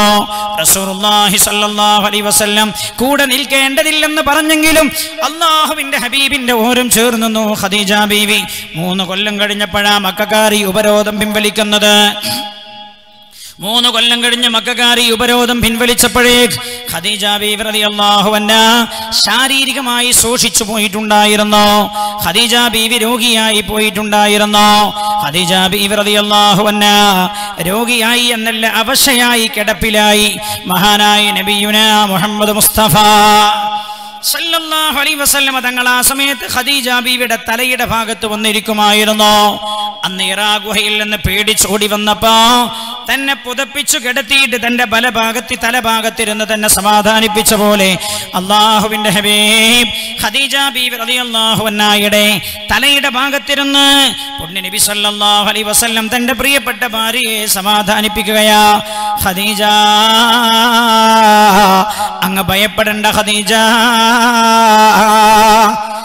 അങ്ങ് സ്വർഗത്തിന്റെ ഉന്നതങ്ങളിലാണ് ഖദീജ. അള്ളാഹു അങ്ങയുടെ രോഗം സുഖപ്പെടുത്തി തരട്ടെ ഖദീജ. അങ്ങനെ പറഞ്ഞ ഖദീജ ബീവിയെ സമാധാനിപ്പിക്കുകയാ. സമാധാനിപ്പിക്കുന്ന സമയത്ത് ഖദീജ ബീവി റളിയല്ലാഹുവിന്റെയും കരയുന്നുണ്ട്. ഖദീജ ബീവി റളിയല്ലാഹുവിന്റെ കണ്ണിലൂടെ കണ്ണിതീരിങ്ങനെ ചാരിട്ടൊഴുകുന്നുണ്ട്. പൊണ്ണിനബി സല്ലല്ലാഹു അലൈഹി വസല്ലം തങ്ങളത് കാണുന്നുണ്ട്. റസൂൽ അപ്പോൾ കണ്ണുനീര് തുടച്ചു കൊടുക്കുകയാണ്. ഖദീജ ബീവി റളിയല്ലാഹു അൻഹ വിങ്ങിപ്പൊട്ടുന്നുണ്ട് റസൂലുള്ളാഹിനോട് പറഞ്ഞു യാ റസൂലല്ലാഹ് ഹബീബായ നബിയെ ഏതൊരാളുടെ ജീവിതത്തിലും അള്ളാഹു മരണം തീരുമാനിച്ചിട്ടുണ്ട് നിശ്ചയിച്ചിട്ടുണ്ട്. ഞാൻ മരിക്കുമെന്ന കാര്യത്തിലല്ല നബിയെ എന്റെ പേടി. യാ റസൂലല്ലാഹ് ഞാനങ്ങ് മരിച്ചാൽ അങ്ങീ ശത്രുക്കളുടെ മുമ്പിൽ ഒറ്റപ്പെട്ടു പോകില്ലേ നബിയേ? അതാണ് എന്നെ വല്ലാതെ വേദനിപ്പിക്കുന്നത് യാ മൂന്ന് കൊല്ലം ഭക്ഷണം തരാതെ വെള്ളം തരാതെ അങ്ങ് തടഞ്ഞു വച്ച ഈ മക്കാർ ഇനി എന്തൊക്കെ ക്രൂരതയാ അങ്ങയോട് കാണിക്കുക എന്നോർത്താ നബിയേ. ഞാൻ കരയുന്നത് യാ റസൂലല്ലാ. സല്ലല്ലാഹു വസല്ലം. തന്റെ പ്രിയപ്പെട്ട ഭർത്താവിനോടുണ്ടായിരുന്ന സ്നേഹത്തിന്റെ ആഴം ആലോചിച്ചു നോക്ക് നിങ്ങൾ. അതുകൊണ്ട് തന്നെ അള്ളാഹുവിന്റെ ഹബീബും അത്രമാത്രം സ്നേഹ തിരിച്ചു കൊടുത്തത്. ഖദീജ ബീവി വഫാത്താകാൻ കിടക്കുന്ന രോഗത്തില ഇത് പറഞ്ഞു രണ്ടുപേരും കരയുന്നുണ്ട്. പുണ്യ നബി സല്ലല്ലാഹു അലൈഹി വസല്ലമ തങ്ങൾ തന്റെ കണ്ണുനീർ തുടക്കുന്നുണ്ട്. ഖദീജ ബീവി തന്റെ കണ്ണുനീരും തുടക്കുന്നുണ്ട്. തന്റെ പ്രിയപ്പെട്ട മക്കളായ ഉമ്മു കുൽസൂം അത് കാണുന്നുണ്ട് ഫാത്തിമ ബീവിയും കാണുന്നുണ്ട്. ഖദീജ ബീവി അവസാന കാലഘട്ടത്തിൽ അള്ളാഹുവിന്റെ ഭാഗത്തു നിന്ന് തീക്ഷ്ണമായ പരീക്ഷണം നേരിട്ടൊരു പെണ്ണാണ് ഞാൻ നിങ്ങളോട് പറയും ഈ കവറിൽ വലിയൊരു വള കൊണ്ടുവന്ന് തന്നിട്ടുണ്ട് ഒരു ഉമ്മയാൻ ഈ കവറിലുള്ള വള സത്യത്തിൽ ഈ വള ഞാൻ കണ്ടപ്പോ ഓർമ്മയായത് ഖദീജ ബീവി റളിയല്ലാഹു അൻഹയുടെ ഈമാനുള്ള സ്ത്രീകളൊന്നും ജീവിച്ചിരിക്കുന്നുണ്ടോ എന്നാണ്. ഒൻപത് പവന്റെ ഒരു സ്വർണ വളയാണ് ഒരു സഹോദരി സദസ്സിലേക്ക് കൊണ്ടുവന്നത്. ആ ഉമ്മാക്ക് ചില പ്രയാസങ്ങൾ പറഞ്ഞിട്ടുണ്ട്. ഉമ്മാ നിങ്ങളുടെ സ്വഭാവം ഖദീജയുടെ സ്വഭാവമാണ് ഇന്നത് കണ്ടപ്പോ എനിക്ക് തോന്നിപ്പോയി. ഉമ്മ നിങ്ങളെ അള്ളാഹു പരീക്ഷിച്ചിരിക്കുന്നത്. ഖദീജ ബീവിയെ പരീക്ഷിക്കുന്ന പോലെയാ. നിങ്ങൾ സമാധാനിക്കണേ എന്ന് ഞാൻ ഓർമ്മപ്പെടുത്തുകയാണ്. നിങ്ങൾ പ്രയാസപ്പെടേണ്ടതില്ല. എന്തായിരുന്നു ഖദീജ അവസാന കാലത്തുണ്ടായിരുന്ന പരീക്ഷണം. ഖദീജ ബീവിയുടെ രണ്ട് ആൺമക്കൾ മരിച്ചുപോയി. മൂത്ത മോളാണ് സൈനബ് റളിയല്ലാഹു അൻഹ. സൈനബ ബീവിയെ വിവാഹം ചെയ്തത് അബുലാഷ് എന്ന് പറയുന്ന ഖദീജ ബീവിയുടെ ഉമ്മയുടെ സഹോദരിയുടെ മകനായിരുന്നു മകനായിരുന്നു. ഖദീജ ബീവിയുടെ ഉമ്മയുടെ സഹോദരിയുടെ മകനാ. ഖദീജ സൈനബ് റളിയല്ലാഹു വിവാഹം വിവാഹം ചെയ്തത്. അബുലാസ് എന്നാണ് അദ്ദേഹത്തെ വിളിക്കാറുണ്ടായിരുന്നത്. അബുലാസ് ഇവി റസൂലുള്ളാന്റെ നബുവത്തിന് മുമ്പ് നടന്ന കല്യാണമാണ് ഈ കല്യാണോ. പക്ഷേ അബുലാസ് റസൂറുള്ള ദിവ്യ റസൂറുള്ള നബുവത്തുമായി വന്നപ്പോ റസൂറുല്ലാനെ അംഗീകരിക്കാൻ തയ്യാറായില്ലെന്നല്ല. റസൂറുല്ലാന്റെ ശത്രുപക്ഷത്താണ് പുതിയ പിളയായ ജൈന റളിയല്ലാഹു അൻഹയുടെ ഭർത്താവായ അബുല്ലാസ് ശത്രുപക്ഷത്താണ് കൂടിയത്. അള്ളാഹുവിന്റെ ഹബീബിന്റെ കൊടിയ ശത്രുവായിരുന്നു അബുല്ലാസ് മാത്രമല്ല റസൂലുള്ളാനെ നിശിതമായി വിമർശിക്കുന്ന ആളായിരുന്നു അബുലാസ് ഈ അബുലാസ് അള്ളാഹുവിന്റെ ഹബീബിന്റെ മൂത്ത മകൾ സൈനബ് റളിയല്ലാഹു അൻഹ. ഖദീജ ബീബ് റളിയല്ലാഹു അൻഹ രോഗിയായി കിടക്കുകയാണ് വീട്ടിൽ. ഉമ്മയെ ഞാനൊന്ന് കണ്ടുവരട്ടെ എന്ന് ചോദിച്ചാൽ സൈനബിന് അബുലാസ് ഖദീജയുടെ അടുത്തേക്ക് വിടുമായിരുന്നില്ല. എന്താ വിടാത്തത്? അബുല്ലാസ് സൈനബ് റസൂറുല്ലാന്റെ അടുത്ത് പോയാൽ റസൂറുല്ലാന്റെ മതത്തിൽ കൂടുമെന്നാണ് അബുല്ലാസിന്റെ ഭയം. അതുകൊണ്ട് രോഗിയായി കിടക്കുന്ന ഉമ്മയെ കാണാൻ അബുല്ലാസ് പറഞ്ഞേക്കാറില്ല. ഉമ്മ നിങ്ങൾ എന്തിനാ ബേജാറാകുന്നത്? ഇന്നലെ ആരോ ഇവിടെ എഴുതി എഴുത്തു കൊടുത്തയച്ചല്ലോ. തന്റെ പൊന്നുമോളെ ഭർത്താവിന്റെ വീട്ടുകാർ തന്റെ വീട്ടിലേക്ക് വിടുന്നില്ല എന്ന്. അള്ളാഹുവിന്റെ പരീക്ഷണമാണത്. നിങ്ങൾ ക്ഷമിച്ചോളൂ അന്ത്യം വിജയമുണ്ട്. അൻഹെ. കാണാൻ വരാറില്ല. ഞാൻ ചോദിക്കട്ടെ ഏത് ഉമ്മ കാണും? മരണശയ്യയിൽ കിടക്കുമ്പോൾ മക്കളെ കാണാൻ ആഗ്രഹമില്ലാതിരിക്കുക. തന്റെ മൂത്ത മകളെ കാണാൻ കഴിയാതെയാ. മെത്തയിൽ ലോകശയ്യയിൽ കിടക്കുന്നത്. എന്നാൽ രണ്ടാമത്തെ മകളുണ്ട് റുഖിയ ബീവി റളിയല്ലാഹു അൻഹ. മൂന്നാമത്തെ മകളാണ് ഉമ്മു റളിയല്ലാഹു അൻഹ. അവ രണ്ടുപേരെയും നിക്കാഹ് ചെയ്തത് അബൂലഹബിന്റെ മക്കളായിരുന്ന ഒത്തുബത്തും ഒത്തൈബത്തുമായിരുന്നു എന്നാൽ അബൂലഹബിന്റെ ഭാര്യയായ റസൂലുള്ളാന്റെ കൊടിയ ശത്രുമായിരുന്ന ഉമ്മു ജമീൽ ആ വിവാഹം നടത്താൻ സമ്മതിച്ചില്ല. നിക്കാഹ് നടന്നത് നബുവത്തിന് മുമ്പായിരുന്നു. അത് കഴിഞ്ഞ റസൂലുള്ളാഹ് നബുവത്ത് കിട്ടുന്നത്. ഉമ്മു ജമീല വിവാഹം നടത്താൻ സമ്മതിച്ചില്ല. റുഖയ്യ ബീവിയോട് ഭർത്താവായിരുന്ന അബൂലഹബിന്റെ മകന്റെ വല്ലാത്ത ഇഷ്ടമായിരുന്നു. അബൂലഹബിനോ അബൂ ഉമ്മു ജമീൽ മക്കളോട് ഒരുപാട് തവണ പറഞ്ഞു മുഹമ്മദിന്റെ മക്കൾ നമുക്ക് വേണ്ട. പക്ഷേ ആ മക്കൾ കേട്ടില്ല. അവസാന ഉമ്മു ജമീൽ അബൂലഹബിനോട് പറയിപ്പിച്ച വിവാഹത്തിൽ നിന്ന് പിന്തിരിച്ചോ? പിന്നെ റുഖയ്യ ബീവിയെ കല്യാണം ചെയ്തത് ഉസ്മാൻ റളിയല്ലാഹു അൻഹു മക്കയിൽ ഉസ്മാൻ റളിയല്ലാഹു അൻഹുവിനെയും റസൂലുള്ളാന്റെ മോളെയും ജീവിക്കാൻ അനുവദിക്കാത്തത് കൊണ്ട് അവർ രണ്ടുപേരും അവർ രണ്ടുപേരും അബുസീനയിലേക്ക് പോയിരിക്കുകയാ. പിന്നെ വീട്ടിലുള്ളതാരാ ഈ നിക്കാഹ് കഴിഞ്ഞ് വീട്ടിൽ കൂടുന്നതിന് മുമ്പ് ത്വലാഖു ചെല്ലപ്പെട്ട പെണ്ണാ. ആ പ്രിയപ്പെട്ട മോളയാ. മരണശയ്യയിൽ ഖദീജ അൻഹ കാണുന്നത്. പിന്നെ തന്റെ പിഞ്ചുമോള റസൂലുള്ളാഹ് ഇട്ടമുള്ള മോളാ ഫാത്തിമ ബീവി റളിയല്ലാഹു അൻഹ. ഈ രണ്ട് മക്കളാ വീട്ടിനകത്തുള്ളത്. ഉപ്പ കരയുന്നത് മക്കൾ കാണുന്നുണ്ട് ഉമ്മ കരയുന്നതും മക്കൾ കാണുന്നുണ്ട്. രണ്ടുപേരും പരസ്പരം സമാധാനിപ്പിക്കുന്നുണ്ട്. ആ ഇടക്കാ. ഖദീജ ബീവി റളിയല്ലാഹു അൻഹ ഭർത്താവായ റസൂലുള്ളാഹിനോട് ഇങ്ങനെ പറയുന്നത് ഹബീബായി നബിയേ ഈ രോഗത്തിൽ ഞാൻ മരിക്കുമെന്ന് എന്റെ മനസ്സെന്നോട് പറയുന്നുണ്ട് ഈ രോഗത്തിൽ ഞാൻ മരിച്ചാൽ ഹബീബായി നബിയേ എന്നെ മയ്യത്ത് കുളിപ്പിക്കേണ്ടത് അങ്ങാണ് യാ റസൂലല്ല. ഹബീബായി നബിയേ എന്നെ കഫം ചെയ്യേണ്ടതും അങ്ങാണ് യാ റസൂലല്ല. ഇത് പറഞ്ഞു ഹദീജ കരയുന്നുണ്ട് കേട്ട പുണ്യ നബിയും കണ്ണുനീർ തോർക്കുന്നുണ്ട്. രണ്ട് മക്കളും നിസ്സഹായരായി ഇതിങ്ങനെ നോക്കിക്കാണുകയും ചെയ്യുന്നുണ്ട്. ഖദീജ ബീവി റളിയല്ലാഹു അൻഹ ലോകത്തോട് വിട പറയുന്ന സമയം. വീട്ടിന്റെ അവസ്ഥ ഇതാ. ഖദീജ ബീവി പറഞ്ഞു നബിയേ എന്നെ മയ്യത്ത് കുളിപ്പിക്കേണ്ടത് അങ്ങായ റസൂലല്ല. ഹബീബായ റസൂലുള്ള കരയുന്നുണ്ട്. ഖദീജ അങ്ങന്തിനാ അങ്ങനെയൊക്കെ പറയുന്നത് എന്ന് ചോദിക്കുന്നുണ്ട്. അള്ളാഹുവിന്റെ ഹബീബിനോട് പറഞ്ഞത് നിർത്തിയില്ല നബിയേ എന്നെ മയ്യത്ത് കുളിപ്പിച്ചു കഴിഞ്ഞാൽ എന്നെ കഫം ചെയ്യേണ്ടതും അങ്ങാണ് യാ റസൂലല്ല. ഹബീബായി നബിയെ എന്നെ ഖബറാകുന്ന മണിയറയിലേക്ക് കൊണ്ടുപോകാനുള്ള വാഹനം കൊണ്ടുവന്നാൽ ആ വാഹനത്തിലേക്ക് എന്നെ കയറ്റി വെച്ചു തരേണ്ടതും അങ്ങാണ് യാ ഹബീബായ അന്ന് അങ്ങയുടെ ഭാര്യയായി ഞാൻ എന്റെ വീട്ടിൽ നിന്ന് അങ്ങയുടെ വീട്ടിലേക്ക് വരുമ്പോ ഞാൻ സ്വയമാ കുളിച്ചത്. എന്നാൽ ഖബറാകുന്ന മണിയറയിലേക്ക് പോകുമ്പോ അങ്ങനെ കുളിപ്പിച്ചു തരണം യാ റസൂലല്ല. ഹബീബായി നബിയെ അങ്ങയുടെ വീട്ടിൽ അങ്ങയുടെ ഭാര്യയായി ഞാൻ വരുന്ന ദിവസം എനിക്ക് വസ്ത്രം ധരിപ്പിച്ചു തന്നത് അങ്ങയുടെ കുടുംബത്തിലെ പെണ്ണുങ്ങളാ. എന്നാൽ ഖബറാകുന്ന മണിയറയിലേക്ക് പോകുമ്പോ അങ്ങാകണം യാ റസൂലുള്ള എനിക്ക് വസ്ത്രം ധരിപ്പിച്ചു തരേണ്ടത് കഫം ചെയ്തു തരേണ്ടത്.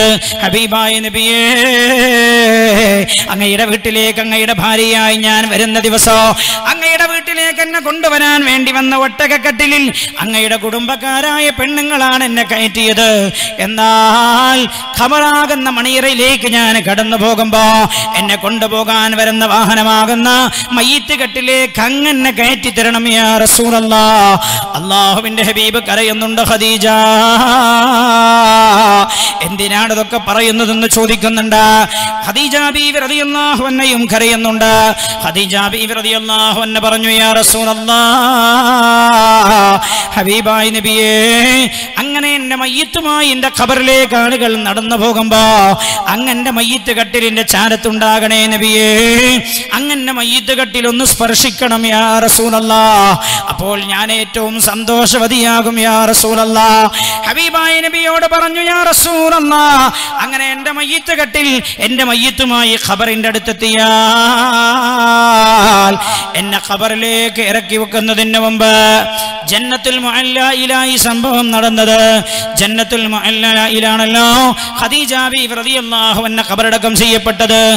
യാ റസൂലല്ലാഹ് എന്നെ ഖബറിലേക്ക് താഴ്ത്തി വെക്കുന്നതിന് മുമ്പ് പിന്നെ നമ്മൾ കാണില്ലല്ലോ നബിയേ. ഐഹികമായ ജീവിതത്തിൽ നിന്നുള്ള വേർപാടാണല്ലോ യാ റസൂലല്ലാഹ്. എന്റെ ശരീരം ഖബറിലേക്ക് താഴ്ത്തി വെക്കുന്നതിന് മുമ്പ് അങ്ങൊന്ന് അങ്ങൊന്നെന്റെ ഖബറിൽ ഇറങ്ങണം യാ റസൂലല്ലാ അള്ളാഹുവിന്റെ ഹബീബേ. അങ്ങയുടെ കാലിന്റെ സ്പർശനമുണ്ടായ അങ്ങയുടെ പാദത്തിന്റെ സ്പർശനമുണ്ടായ മണ്ണിലാണ് ഖിയാമത്ത് നാൾ വരെ ഖദീജ കിടക്കാൻ ആഗ്രഹിക്കുന്നത്. ഇത് പറഞ്ഞതാ ഖദീജ ബീവി തേങ്ങി തേങ്ങി കരയുന്നു. പുണ്യനബിയും കരയുകയാ. ഇടയ്ക്ക് കരച്ചിൽ അടക്കി പിടിച്ചുകൊണ്ട് ഖദീജ ബീവി പറഞ്ഞു ഹബീബായ നബിയെ അള്ളാഹുവിന്റെ ഹബീബേ വീടിന്റെ മേൽക്കൂരയിലേക്ക് ചൂണ്ടിക്കാണിച്ചിട്ട് പറഞ്ഞു ഹബീബായ നബിയെ ഞാൻ മരിച്ചാൽ അന്നങ്ങനെ കഫം ചെയ്യേണ്ടത് ഈ കഫം പുടയിലാണ് യാ റസൂലല്ലാ. ഖദീജ ബീവി റളിയല്ലാഹു അൻഹ കഫം പുട നേരത്തെ തയ്യാർ ചെയ്ത് വെച്ചിട്ടുണ്ടായിരുന്നു. ഖദീജ ബീവി റളിയല്ലാഹു അൻഹ ലോകത്തോട് ഇവിടെ പറയുകയാണ് ഹബീബായി നബിയുനാ റസൂലുള്ളാഹി. വസല്ലമ തങ്ങളതാ തേങ്ങി തേങ്ങി കരയുന്നു. അള്ളാഹുവിന്റെ ഹബീബ് പൊട്ടിക്കരഞ്ഞു പോവുകയാ. തന്റെ പ്രിയപ്പെട്ട പ്രിയതമയാ തന്നോട് വിട പറഞ്ഞത്. അള്ളാഹുവിന്റെ ഹബീബിനോട് വസീയത്ത് ചെയ്ത പോലെ പുണ്യനബി സല്ലല്ലാഹു അലൈഹി വസല്ലം ഖദീജ ബീവിയെ കുളിപ്പിക്കുകയാ. കുളിപ്പിച്ചു കഴിഞ്ഞ് കഫം ചെയ്യാനായി. തന്റെ പ്രിയപ്പെട്ടവളെ കാണിച്ചു തന്ന കഫം പുടയതാ. വീടിന്റെ മേൽക്കൂരയിൽ നിന്ന് അഴിച്ചെടുക്കുകയാണ്. അടിച്ചെടുത്ത് ഖദീജ ബിവിയെ കഫം ചെയ്യാനായ കഫം പുട അങ്ങ് നിവർത്തിയപ്പോഴാ. പുണ്യനബി സല്ലല്ലാഹു അലൈഹി വസല്ലമ തങ്ങൾ തേങ്ങി തേങ്ങി കരയാൻ തുടങ്ങിയത്. സ്വഹാബികൾ ശ്രദ്ധിച്ചു അല്ലാഹുവിന്റെ ഹബീബ് തേങ്ങി കരയുകയാ. എന്തിനാ റസൂലുള്ള ഈ സമയത്ത് കരയുന്നത്? കഫം ചെയ്യാൻ പോയപ്പോ കരയുന്നത് എന്താ തന്റെ പ്രിയപ്പെട്ട ഭാര്യയെ അവസാനം ഒരു നോക്ക് കാണുന്നു എന്ന രീതിയിൽ കരഞ്ഞതാണോ? അള്ളാഹുവിന്റെ ഹബീബ് കരയുങ്ങാൻ കാരണം എന്താ? കഫം പുടയങ്ങ് നിവർത്തി നോക്കുമ്പോ കാണുന്നത് ഹുവൈലിദിന്റെ മകളായ മക്കയിലെ കോടീശ്വരന്റെ മകളായ മക്കയിലെ തന്നെ പ്രധാനപ്പെട്ട കോടീശ്വരയായ കോടിപതിയായിരുന്ന ഖദീജ ബീവി കഫംപുട നാൽപ്പത് തുണിക്കെട്ടങ്ങൾ വെച്ച് തുന്നിച്ചേർത്ത കഫംപുടയായിരുന്നു. ഖദീജ ബീവി കവമ്പുട കണ്ട പുണ്യനിപ്പി കരഞ്ഞത്. കോടീശ്വരയായിരുന്ന ഖദീജ ബീവി ലോകത്ത് നിന്ന് വിട പറയുമ്പോൾ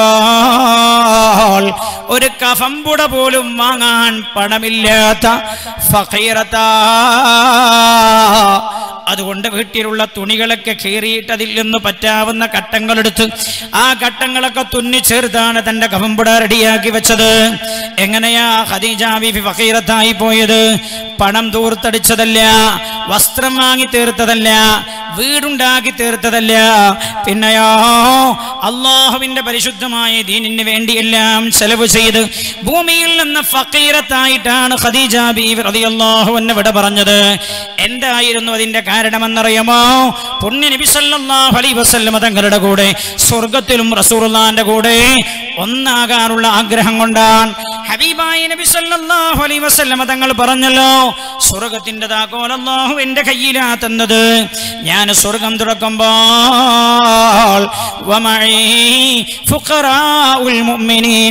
എന്റെ കൂടെ ആദ്യഘട്ടത്തിലെ സ്വർഗത്തിൽ കിടക്കുന്നവർ ഫക്കീറുമാരാണെന്ന് നബിയുനാ റസൂലുള്ളാഹി.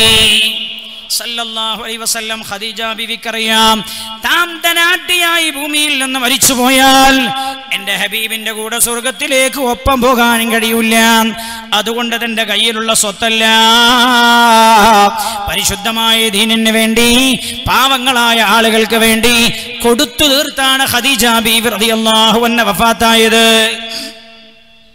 ഖദീജ ബീവിയെ കുറിച്ച് പറയുന്ന അതേ സദസ്സിലാണ് പാവങ്ങൾക്ക് വേണ്ടി ഉമ്മ തന്റെ കയ്യിലുള്ള ഒൻപത് പവന്റെ സ്വർണാഭരണം കൊടുത്തേച്ചത് തന്റെ കയ്യിലുള്ള ഒൻപത് പവന്റെ സ്വർണാഭരണം കൊടുത്തേച്ചത്. എന്താണ് ഇതിന്റെ ഇതെങ്ങനെ ഇങ്ങനെ യോജിച്ചു വന്നു എന്നെനിക്കറിയില്ല. ഒൻപത് പവന്റെ സ്വർണാഭരണമാണ് ഈ ഉമ്മ ഇതിൽ എഴുതിയിട്ടുണ്ട്. തന്റെ പ്രിയപ്പെട്ട ഭർത്താവ് വിട്ടേച്ചു പോയതാണിത്. തന്റെ പ്രിയപ്പെട്ട ഭർത്താവ് മരിച്ചു പോയിട്ടുണ്ട്. ആ ഭർത്താവ് വിട്ടേച്ചു പോയ പൊന്ന ഒൻപത് പവന്റെ സ്വർണാഭരണമെന്ന്. ഇത് ഞാൻ എന്തു ചെയ്യണം എന്ന് ആലോചിച്ചപ്പോൾ എനിക്ക് തോന്നിയത് പാവങ്ങളായ ആളുകൾക്ക് കൊടുക്കാമെന്ന്. അതാണ് എസ് വൈസിന്റെ ഈ സംരംഭത്തിലേക്ക് കൊടുത്തേച്ചത്. ഒൻപത് പവന്റെ സ്വർണാഭരണം എന്ന് പറഞ്ഞാൽ രണ്ട് ലക്ഷം ഉറുപ്പികയോളം വില വരുന്ന സാധനമാണിത്. നിങ്ങൾ ആലോചിക്കണേ ആ സഹോദരി അങ്ങനെ തീരുമാനമെടുത്തത് ഉമ്മ. നിങ്ങൾക്ക് പഠിച്ചു പോയിട്ടില്ല. നിങ്ങളുടെ ഉമ്മ നമ്മുടെ ഉമ്മ. ഖദീജ ബീവി റളിയല്ലാഹു അൻഹ ആയിഷ ബീവി തന്നെ ഒരു സംഭവം ഉദ്ധരിക്കുന്നുണ്ടല്ലോ. ആയിഷ ബീവി റളിയല്ലാഹു അൻഹ ഒരു സംഭവം ഉദ്ധരിക്കുന്നുണ്ട്. ആയിഷ ബീവി റളിയല്ലാഹു അൻഹ പറയാണ് ഒരു ദിവസം റസൂലുള്ളാഹിന്റെ വീട്ടിൽ ഇങ്ങനെ നിൽക്കുകയാണ്. പെട്ടെന്ന് ഞാൻ ശ്രദ്ധിച്ചു നോക്കി റസൂറുല്ലാനെ റസൂലുള്ള വീടിന്റെ വെളിയിലേക്ക് ഇറങ്ങി ഏതോ ഒരാളോട് സംസാരിക്കുന്ന പോലെ എനിക്ക് തോന്നി. ആയിഷ ബീവി പറയാണ് ഞാൻ മെല്ലെ വീട്ടിൽ നിന്ന് എത്തി നോക്കി റസൂറുള്ള ആരോടാ സംസാരിക്കുന്നത്. അള്ളാഹുവിന്റെ ഹബീബ് ഒരു കിളവിയായ പെണ്ണിനോടാ സംസാരിക്കുന്നത്. ആയിഷ ബീവി റളിയല്ലാഹു അൻഹ പറയാ അള്ളാഹുവിന്റെ ഹബീബ് ഏറെ നേരം ആ കിളവിയായ കാണാൻ യാതൊരു ഭംഗിയുമില്ലാത്ത മുഖമൊക്കെ ചുക്കി ചുളിഞ്ഞു പോയ എഴുന്നേറ്റ് നിൽക്കാൻ തന്നെ പ്രയാസപ്പെടുന്ന ആ പെണ്ണിനോട് അള്ളാഹുവിന്റെ ഹബീബ് ഏറെ നേരം സംസാരിച്ചിരുന്നത്. അള്ളാഹുവിന്റെ ഹബീബ് സംസാരം കഴിഞ്ഞ് വീട്ടിലേക്ക് കയറിയ പാടേ ഞാൻ റസൂറുല്ലാനോട് ചോദിച്ചു നബിയേ അങ്ങ് എത്ര നേരമായ റസൂറല്ല ആ പെണ്ണിനോട് സംസാരിച്ചിരുന്നത്? ആർക്കും വേണ്ടാത്തൊരു കിളവിയായ പെണ്ണിനോട് അങ്ങ് ഇത്ര തിരക്കുള്ള മനുഷ്യനല്ലേ? ആ പെണ്ണിനോടാണോ ഇത്ര നേരം അങ്ങ് സംസാരിച്ചിരുന്നത്? പറഞ്ഞ പാടെ ഇരു കണ്ണും ഇങ്ങനെ നിറഞ്ഞൊഴുകാൻ തുടങ്ങി. അള്ളാഹുവിന്റെ ഹബീബ് ചോദിച്ചു ആയിഷ അതാ ആയിഷ അതാരാണെന്ന് നിനക്ക് മനസ്സിലായോ ആയിഷ? ആയിഷ ബീവ്രതി അള്ളാഹു എന്നെ പറഞ്ഞു ഇല്ല നബിയേ. ആരാണെന്ന് എനിക്ക് മനസ്സിലായിട്ടില്ല എന്ന് പൊണ്ണി നബി സല്ലല്ലാഹു അലൈഹി വസല്ലമ തങ്ങൾ പറഞ്ഞു ആയിഷ അതെന്റെ ഖദീജ മക്കത്ത് ജീവിച്ചിരുന്നപ്പോ എന്റെ ഖദീജയുടെ വീട്ടിൽ വരും ആയിഷ.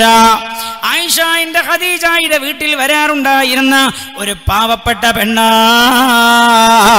എന്റെ ഖദീജയുടെ വീട്ടിൽ ആ പെണ്ണ് വന്നാൽ എന്റെ ഖദീജ കൈ നിറയെ വാരി കൊടുക്കും ആയിഷ. അതുമായ ആ പെണ്ണ് തിരിച്ചു പോകും ആയിഷ. അത് തീർന്നാൽ വീണ്ടും വരും ആയിഷ. എന്റെ ഖദീജ അപ്പോഴും കൈ നിറയെ വാരി കൊടുക്കും ആയിഷ. ആ പെണ്ണ് തിരിച്ചു പോകും ആയിഷ. അത് കഴിഞ്ഞാൽ വീണ്ടും വരും ആയിഷ. നിങ്ങളല്ലേ കഴിഞ്ഞ ആഴ്ച വന്നത്? നിങ്ങളല്ലേ നേരത്തെ വന്നത്? എന്നൊന്നും എന്റെ ഖദീജ പറയാറുണ്ടായിരുന്നില്ല.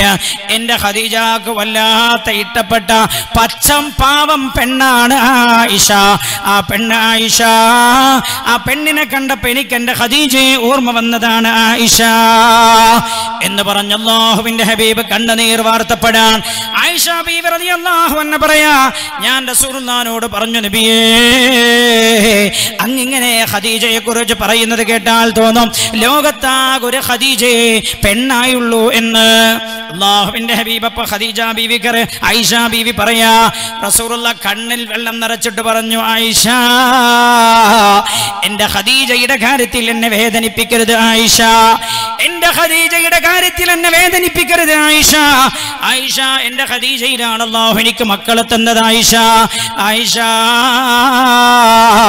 ആയിഷ എന്റെ ഖദീജ തന്റെ ഖദീജയുടെ സ്വത്ത് മുഴുവൻ അള്ളാഹുവിന്റെ ദീനിന്റെ പ്രചരണത്തിന് വേണ്ടി എനിക്ക് വാരിക്കോരി തന്ന ആളാണ് ആയിഷ. എന്റെ ഖദീജയില എനിക്ക് മക്കളെ അള്ളാഹു തന്നത് ആയിഷ. അതുകൊണ്ട് ഖദീജയുടെ കാര്യത്തിൽ എന്നെ വേദനിപ്പിക്കരുതേ എന്ന് ഈ സിനിമ സംവിധാനം ചെയ്ത് ആ സിനിമയിൽ ഈ പാട്ട് പാടിച്ച മുസ്ലിം നാമധാരികളാണോ മുസ്ലിം കർമ്മങ്ങളിൽ നിട്ടയുള്ളവരാണോ എന്ന് എനിക്കറിയില്ല ഏതായാലും അവരോടക്കം അവരോടടക്കം ആ പാട്ട് പാടിയിട്ട് ആ അഭിനയം തുടരുന്ന ഈ ഉമ്മത്തിലെ ആളുകളോടും ഞാൻ ഓർമ്മപ്പെടുത്തുകയാണ്. ഖദീജ ബീവിയുടെ കാര്യത്തിൽ അള്ളാഹുവിന്റെ ഹബീബിനെ വേദനിപ്പിക്കരുത് എന്ന്. അതായിഷയോട് മാത്രമല്ല ഈ ഉമ്മത്തിനോടുമുള്ള ആഹ്വാനമാണ് എന്റെ ഖദീജയുടെ കാര്യത്തിൽ എന്നെ വേദനിപ്പിക്കരുത് എന്ന്. എന്നെ വേദനിപ്പിക്കരുത് എന്ന് എന്നെ വേദനിപ്പിക്കരുത് എന്ന്. സ്നേഹിച്ച ഖദീജ ബിവിയെ ഹൃദയമറിഞ്ഞ് സ്നേഹിക്കുന്നവരിൽ അള്ളാഹു നമ്മെ ഉൾപ്പെടുത്തി തരുമാറാകട്ടെ.